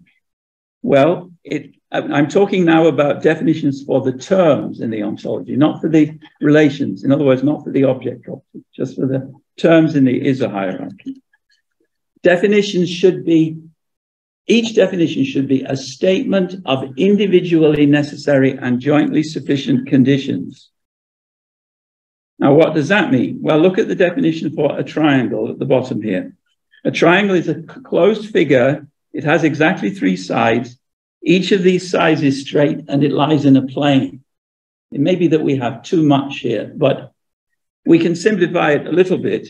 But all of these are necessary. In other words, every triangle is a closed figure. It is necessary of a triangle that it is a closed figure. And all of them together are jointly sufficient. That is to say, anything which satisfies everything on the right hand side is a triangle. Now, this is what a definition should look like. How to build definitions like this is coming next. So this is a slightly simplified version of what we had before. And now here we have a certain form. X is a triangle means X is a closed figure which.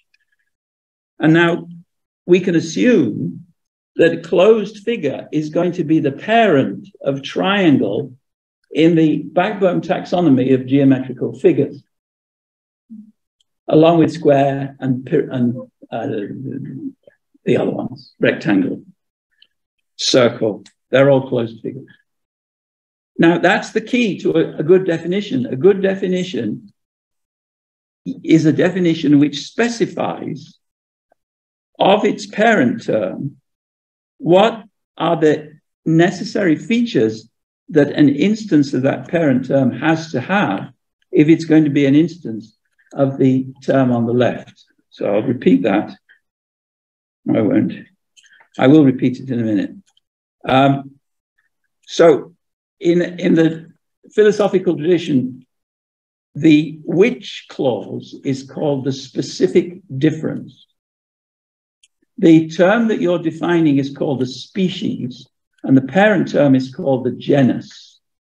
An example would be human being is defined as an animal, that's the parent term, which is rational. That's what Aristotle said. Every definition should be an Aristotelian definition in just that sense when it's a definition of a term. Except, and now we come to the, the following uh, issue, namely, there are some terms which are just so basic that you can't specify a parent term that would give you any additional meaning in the way in which human is a rational animal gives you additional meaning to the term animal. Or triangle is a closed figure which has exactly three sides, gives you additional meaning to closed figure. You can't do that with object. I can't explain what an object is by telling you that it's a thing which is objecty or a thing which is connected or uh, an entity which is just one object is too basic. And so every ontology is going to have primitive terms which cannot be defined. And they will come at the very top of the relevant, or near the very top of the relevant ontology tree, the backbone taxonomy. And we, it's not that we are completely dumb or dumbfounded when it comes to primitive terms. Um, we, we, but we can only provide what we call elucidations. They're not definitions. They are just necessary conditions plus maybe some examples of how the term is to be used. All right, now these, this is the recipe. For a good definition, you have a parent term, you have the term you want to define, which is B in this case, and you have the specific difference, which is C. And then you define B as an A, a which sees. And this is, it, it's such a simple uh, approach but 99% of the definitions in, in otherwise highly re reputable ontologies do not use this recipe. And the recipe has the neat consequence that writing definitions is a good check on the quality of your taxonomy, but also the taxonomy that you're building is a good step towards creating good definitions for the terms it contains. So you, in principle, you get the best of both worlds. All right, and now it doesn't work. That's the problem. Uh, it doesn't work in every case, but this too is not necessarily uh, a bad thing. So this is the Aristotle example. This is what we want. We want our trees to look like this. Every term or every class in the ISA taxonomy has exactly one parent, except for the very highest classes, which don't have any parent. As long as every class has exactly one parent, we can use the Aristotelian rule for definitions without any problems. Uh, but some, some people build ontologies and they have diamonds in them. Uh, and I, by that, I do not mean diamonds in the rough. I mean diamonds which cause the rough.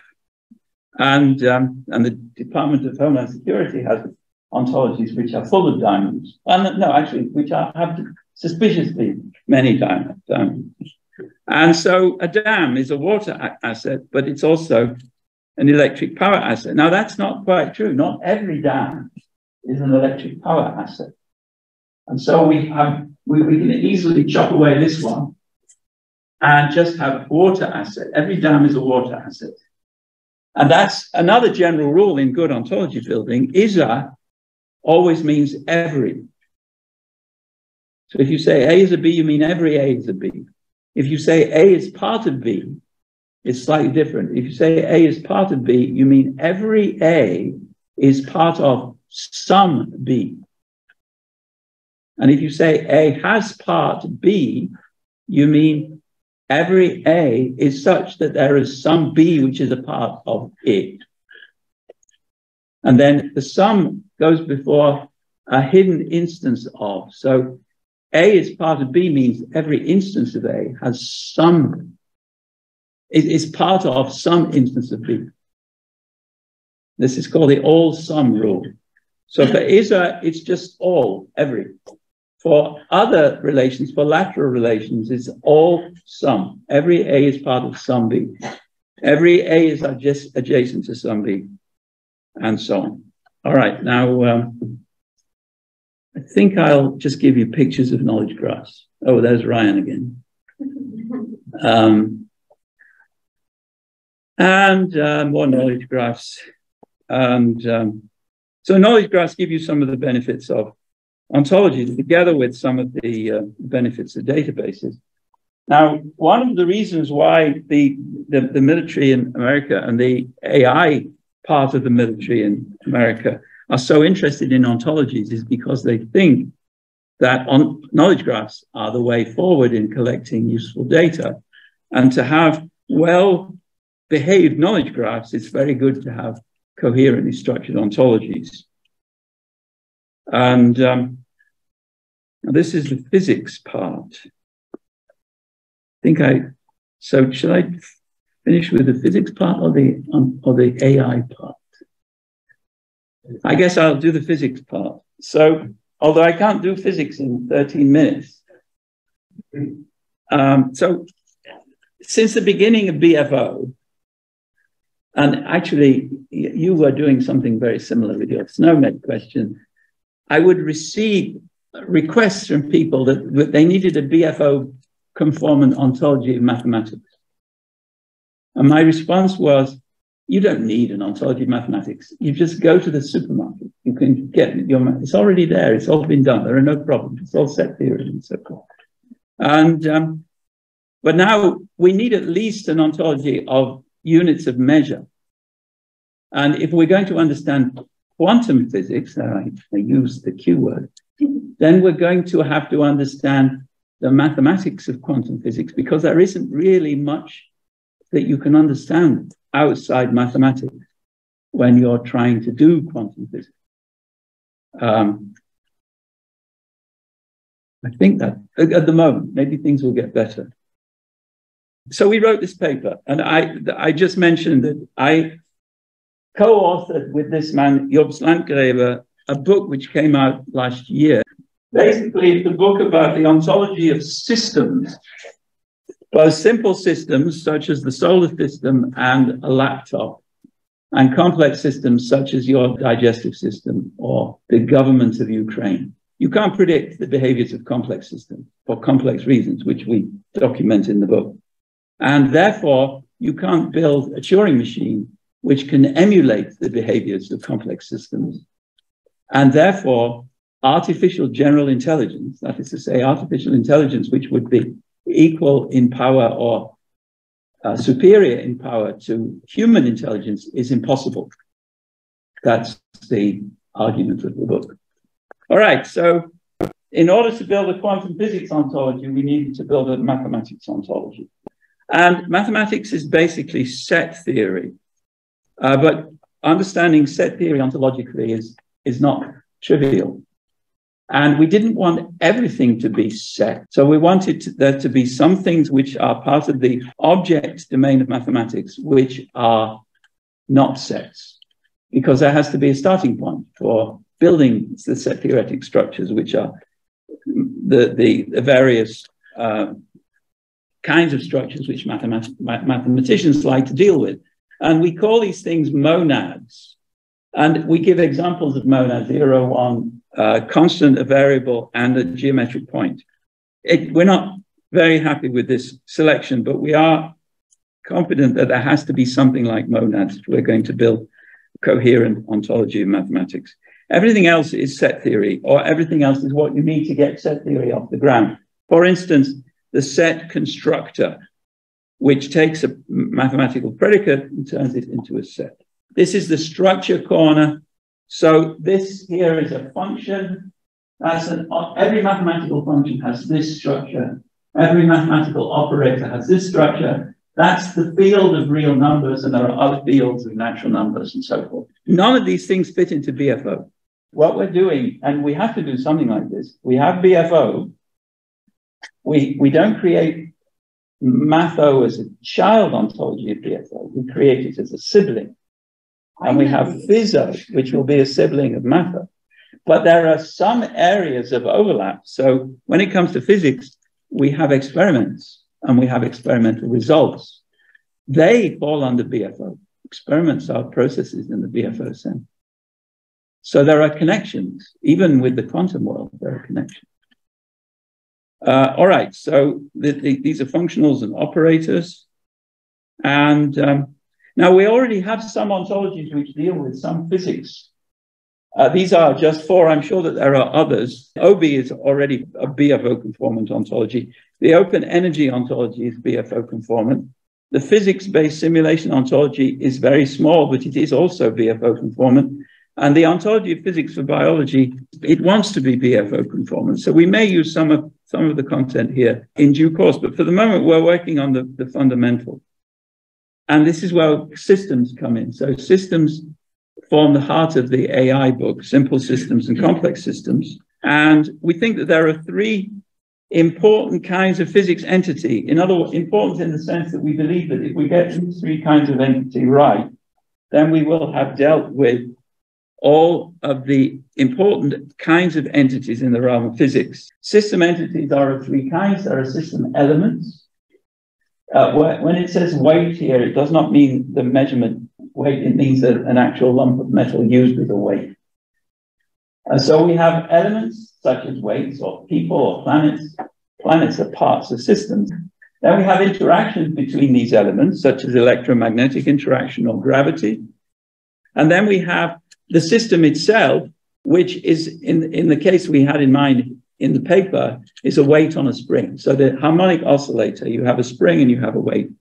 And the, the weight goes up and down harmonically. And the harmonic oscillator is a very important physical system, which is found also in biology and chemistry everywhere, and which we document in the paper ontologically as our example of classical physics.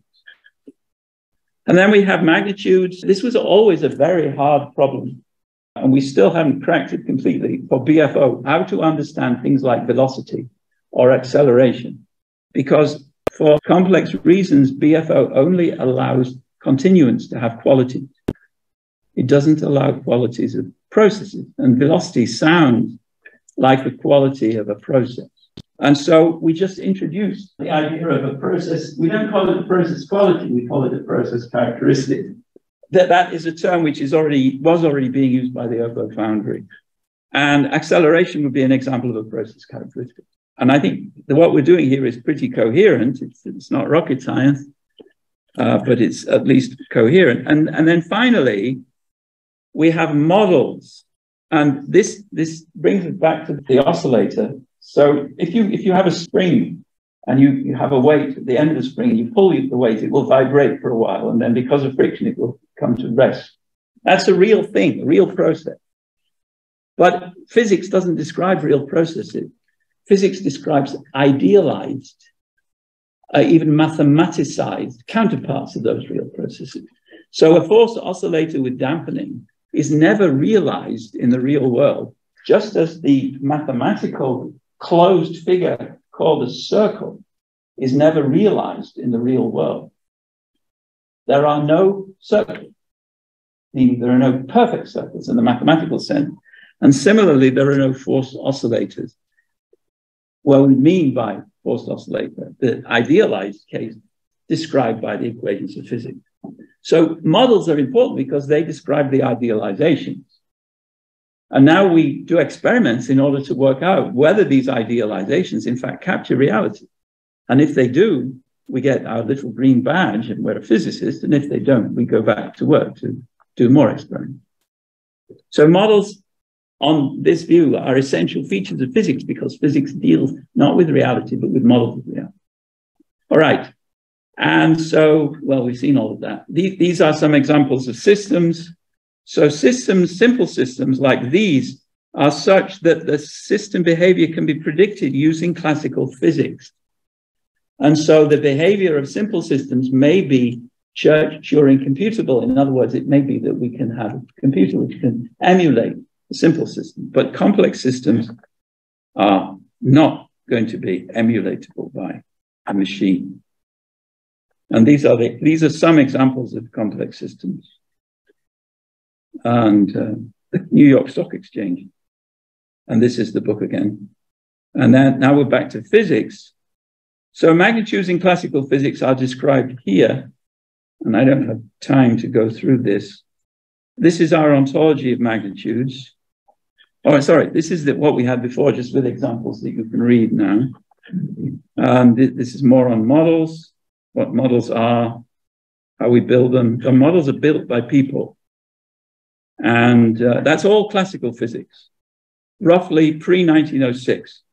Modern physics is general relativity theory plus quantum physics.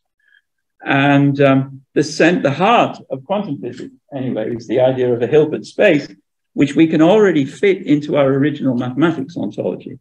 So a Hilbert space is a subkind of the kind metric space, which is a subkind of the kind vector space, which is a subkind of the kind algebraic structure, which is a subkind of the kind structure. All of that is in the mathematics ontology. And you can't do quantum physics without Hilbert space. And uh, well, this is more, you can't do quantum physics without the idea of inner product and without the idea of operators and projectors and so on. And I, I so Feynman said, if you think you understand quantum mechanics, you don't understand quantum mechanics. They say, in fact, I think what he really said was this, that we can safely say that nobody understands quantum mechanics. Now, what did he mean? So what are the domains which we can understand? Now, I think we can understand the domain of mathematics. Mathematicians understand mathematics. There's no mystery about that. They build it and they understand it. What else can we understand apart from mathematics? Answer is the domain of everything which falls under BFO. That's it. And so that's why we can't understand quantum mechanics because it doesn't fall under BFO. And so some mathematics, common sense. So what is the common sense domain? Well, roughly. now, that we're not, we didn't make this up. Uh, that there is a certain amount of theory on common sense. It goes under the name primary theory. Primary, and this actually gets deep into the heart of ISO IEC 21838-2. Robin Horton was an anthropologist who lived in Africa. I think he was born in Africa and he worked on the worldviews of different cultures, both Western and non-Western. And he decided that there were two kinds of worldview, which you can formulate as theories. One is primary theory, and that is a theory which is about the common sense world, the boats and, and, and snowballs and leaves and, and food and, and drinks and so on, the things that you need in order to survive and behave in an, in an everyday uh, world.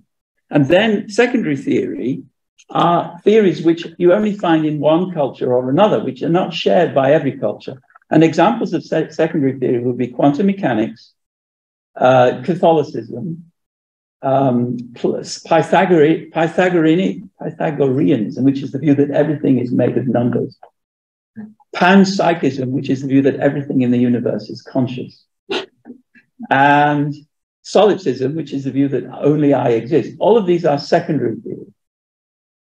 And now primary theory, common sense, is, is definable. It's that which all cultures share. And that is, roughly speaking, what you find in BFO. Roughly speaking. Mathematics is in the one side. Well, little bits of mathematics, but not much. There are some cultures which have very small amounts of mathematics. And, uh, and so it goes like this. You can study this while, while we, can we see if we can contact John? It's about, he should by now be, Oh, I'm here. Let so me- that's John. No, fine. Yeah, this is, hi, I'm John. Well, let me find the slides for, here we go. Hi, everybody. John Beverly, that's me at the top and also on your screen. I'm going to be talking today about implementations of BFO. Um, because there's sometimes some confusion about the difference between BFO is used as a broad data model and uh, BFO and its actual, you know, everyday owl. And so I'm here to shed some light and illuminate that. Um, as you see, John Beverly, professor at the University of Buffalo, colleague of Barry's, uh, speaking here in capacity uh, VP for the National Center of Ontological Research and a representative of the BFO community. So here's what we'll do. I'm going to talk about BFO ontology repo updates, repo, a GitHub repo, because we have a lot of our, we have our artifacts on a GitHub repo. I also talk about clarifications around some implementations of BFO, what it means to implement BFO. I'll do this real quick. I know you guys probably want to go eat some pizza. I saw the schedule is pizza day. I won't I won't keep you from it, I promise. Then we'll talk about the core BFO file and then temporal extensions. And this is where it's going to get interesting. So if you know anything about BFO, um, uh, you can probably already tell why it's going to be interesting. And if you don't, um, well, hold on to your horses. Okay, here we go. Clarifications. So there has been some confusion concerning which BFO file in the repo folks should use. Uh, and that that makes sense. If you go to the GitHub repo, I have a screenshot of what it used to look like over there, right here on the right. It's a little confusing. You got the 21838-2, definitely ISO. That's good ref, reference to ISO. But you also see file or directories like Common Logic, Model, and a bunch of fi- uh, files in different formats named BFO. It's a little hard to parse sometimes. Not the best documentation. This is not knocking Alan. I love Alan. Alan did amazing work, but you know, documentation is important. So uh, we're clarifying, cleaning this up. So here's here's the new structure, and I'll walk through it real quick. The development team, uh, myself included, worked to clear this up so that it's easier to understand. It's on a fork right now. Uh, I'm going to merge it shortly, but here's the structure over on the right. It should be clear, and if it's not, hold on. Um, so we know that BFO, as described in the standard and described in this Building ontology, Ontologies, a basic formal ontology book, describes a theory that outstrips the the um, the expressivity of OWL, right? Which is what we typically use when we, we're dealing with BFO or any ontologies, really. So there there are lots of different implementations of BFO, some of which more accurately accurately represent or reflect that broader model that is described in the the ISO standard in the text, right? Common logic, there's one implementation of it. It's a formal language. It's a fan. it's it's I think it's actually CLIF, but it's uh, represented in a, in one of among a family of four first order logics that's used in computational reasoning. First order logic, this is uh, rather uh, a rather clearer, I would say, if I had to had to measure a clearer representation of first order logic in this syntax. Common logic's a little tough to parse, um, usually used for documentation. Uh, LADR, this is a less known syntax, the Library for Automated Deduction Research. This is used in model checking, um, in particular with MACE 4 and Prover 9, which, which Alan Ruttenberg used to generate the consistency proof for the, the broader theory.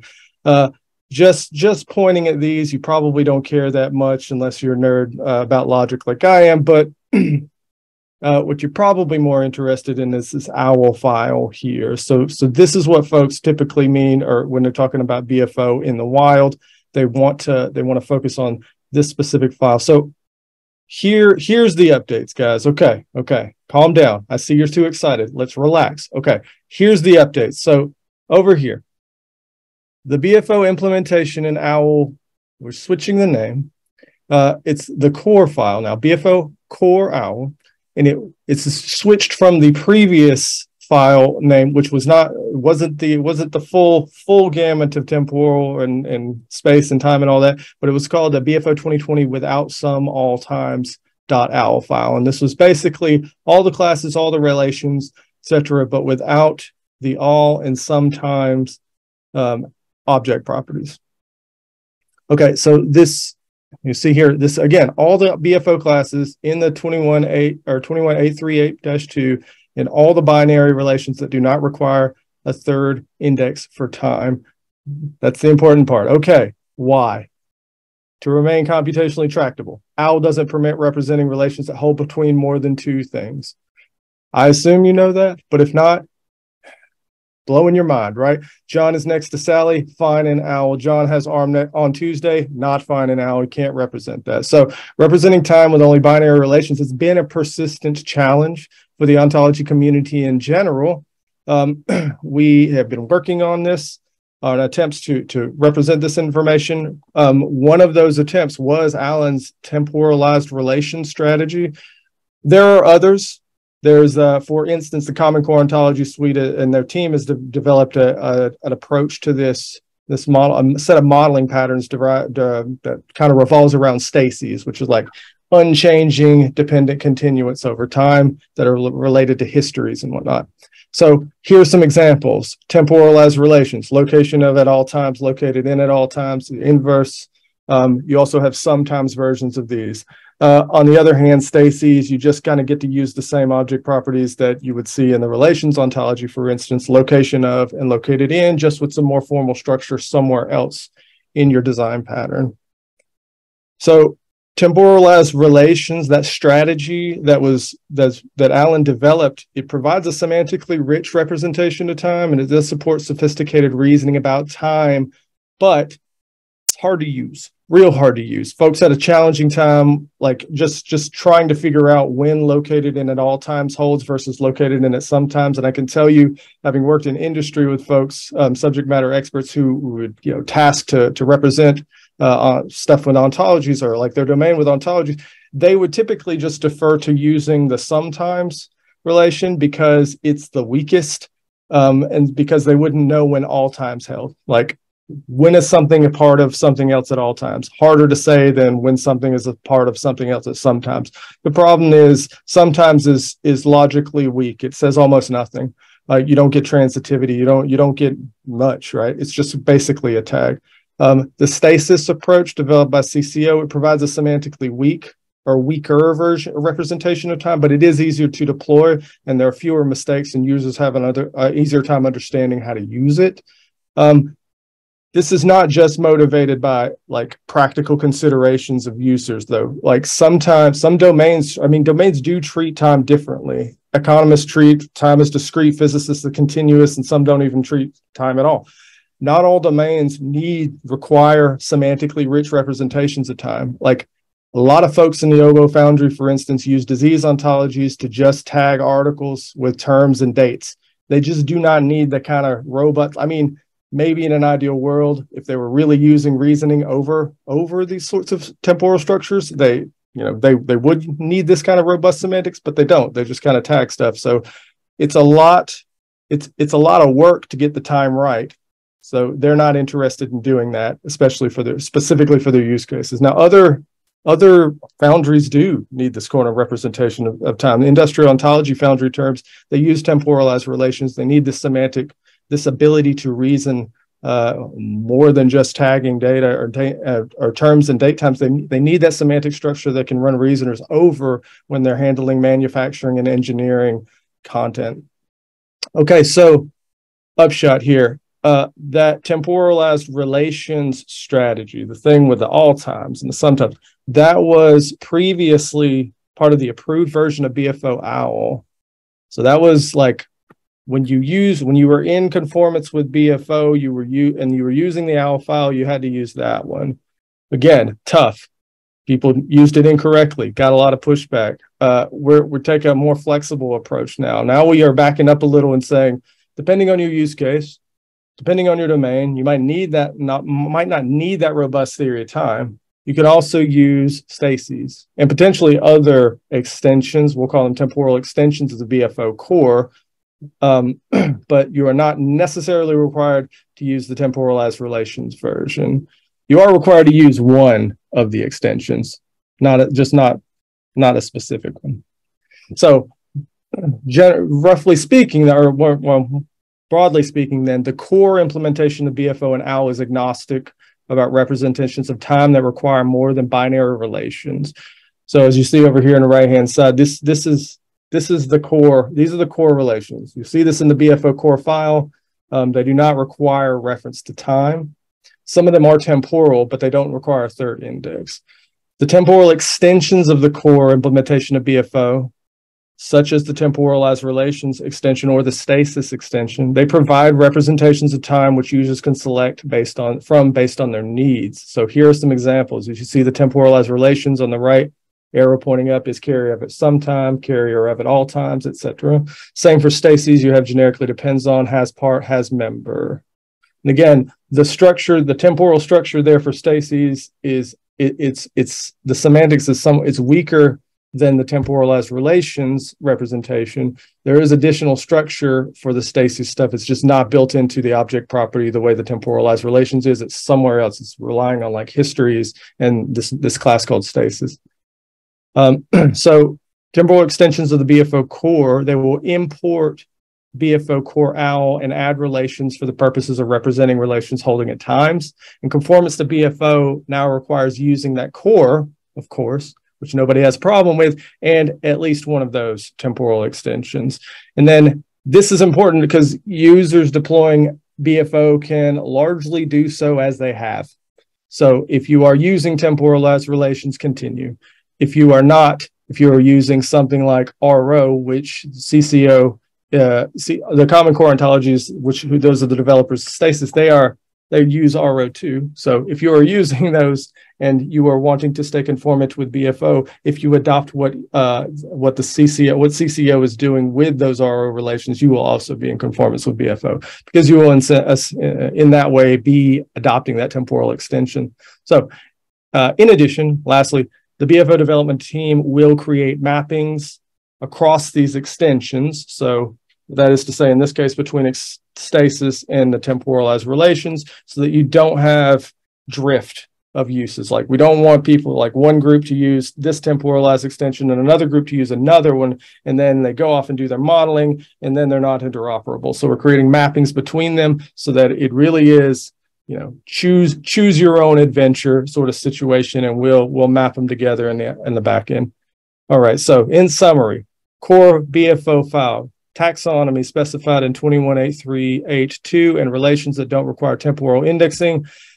The extension, temporal extensions import that core, adding relations that provide richer representations of time, some more rich than others. And the development team will provide guidance for selecting the temporal extension based on need and will secure interoperability across extensions via mapping. Look at that. I did it and I have, what, seven minutes left? Can you hear me, John? I can. So you better explain what RO is. Oh, I, I, I thought you already did it. It's the relations ontology. So relations ontology is it's a, a large number of ontology or a large number of object properties that are used, uh, well, mo- very often used by OBO Foundry ontologies. So they have things they they include a lot of uh, property object properties like part of, um, but they also have some more specific uh, object properties for uh, biological phenomena like, um, I don't know, uh, what's a biology term? Um, is titrated from or something. what's that? Spider's leg. Spider's leg. I hope that's spider's leg has spider's leg. yeah. Was there anything, any other clarifications? I, I ran through that quick. I didn't want to get in the way of you and pizza.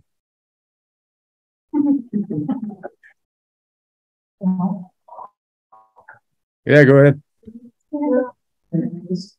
I guess I need to control the uh, the, the audience. So we'll start over there. Yeah, are you, are you going to push with the new uh, vehicle toward the OBO Foundry because they are still on BFO two and uh, relation number three and really normally that's the one that is and shall I do that one? I couldn't hear him, so yeah. okay, so the question is, are we going to bring these uh, goodies to the OBO Foundry? Uh, three wise men. I mean, gonna try. I mean, I'm trying. I've been talking to Chris. Uh, I was talking to Chris the other day, trying to like just you know finesse a little bit. We got to go through the we got to go through the process of like vetting. Like that's his big thing, and I understand. Um, so think yeah, We need to complete what John just described convincingly and then take it to the Obo Foundry. So there are members of the Obo Foundry who I would like the whole foundry to be running on first order logic.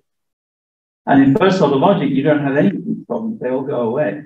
Um, and that, in, in, a way, that's my secret dream of Uh, yeah, um, thank you for that clarification. What I do find a pity, however, is that in this new version, you have the so-called temporalized relations because they are not temporalized relations.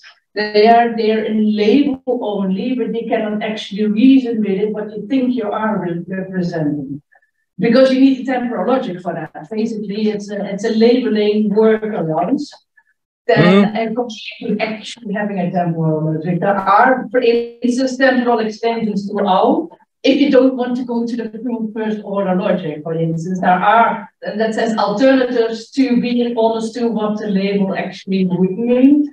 Uh, mm-hmm. so yeah, I find it disappointing to see that that actually made it in there. Are you, uh, to, to convert it into a question, um, are you going to go to a buffer version that will be properly using a temporal logic so that you can do the actual reasoning with it and the consistency checking of what you think you are representing?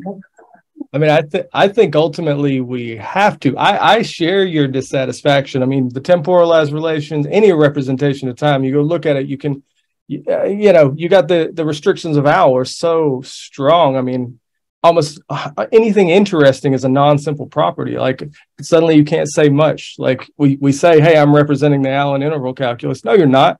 Hush, that's not an owl. You can't. right? Like so, like I, I totally understand. In first order logic, though, we, we have that or tense logic or temporal logic. We we could represent the sorts of structures. I think ultimately we're going to have to because ultimately I think um, that sort of temporal reasoning or uh, sophisticated temporal reasoning that hasn't really been a set like within use cases of ontologies are becoming more and more necessary like the use cases that we're seeing now uh, do want that kind of temporal reasoning they they do want that semantic rich representation so we've been getting away for too long without it. We we have to we have to appeal to some more tools. Uh, so some folks have been working, like uh, Fabian. Um, I'm not sure if Fabian's here. Fabian Neuhaus has been developing some some tools that will allow you kind of put kind of to put uh, first order logic axioms on top of some OWL axioms and you know generate a, a, a combine them generate a model and prove some theorems using vampire in that setting and then I think maybe there the, it allows for a conversion back into OWL some to, to, some extent. I'm not sure. So so there's some research in that direction. I myself have been tr- trying to finesse SHACL um, in combination with OWL. Um, so I'm using the expressivity of SHACL with uh, you know because it can also use SPARQL within embedded within its shapes uh, to try to maybe approach or uh, get make some more progress towards representing te- temporal logic, but really just work in progress. Um, I share your dissatisfaction is the answer, uh, and I also share the need. one more. Anyone? Okay, we finished one minute early. Come on, guys. No other questions? Yes, yes, I, I do shave. That's correct. I know you're all thinking it. All right. Thank you all very much. Thank you. Bye, guys.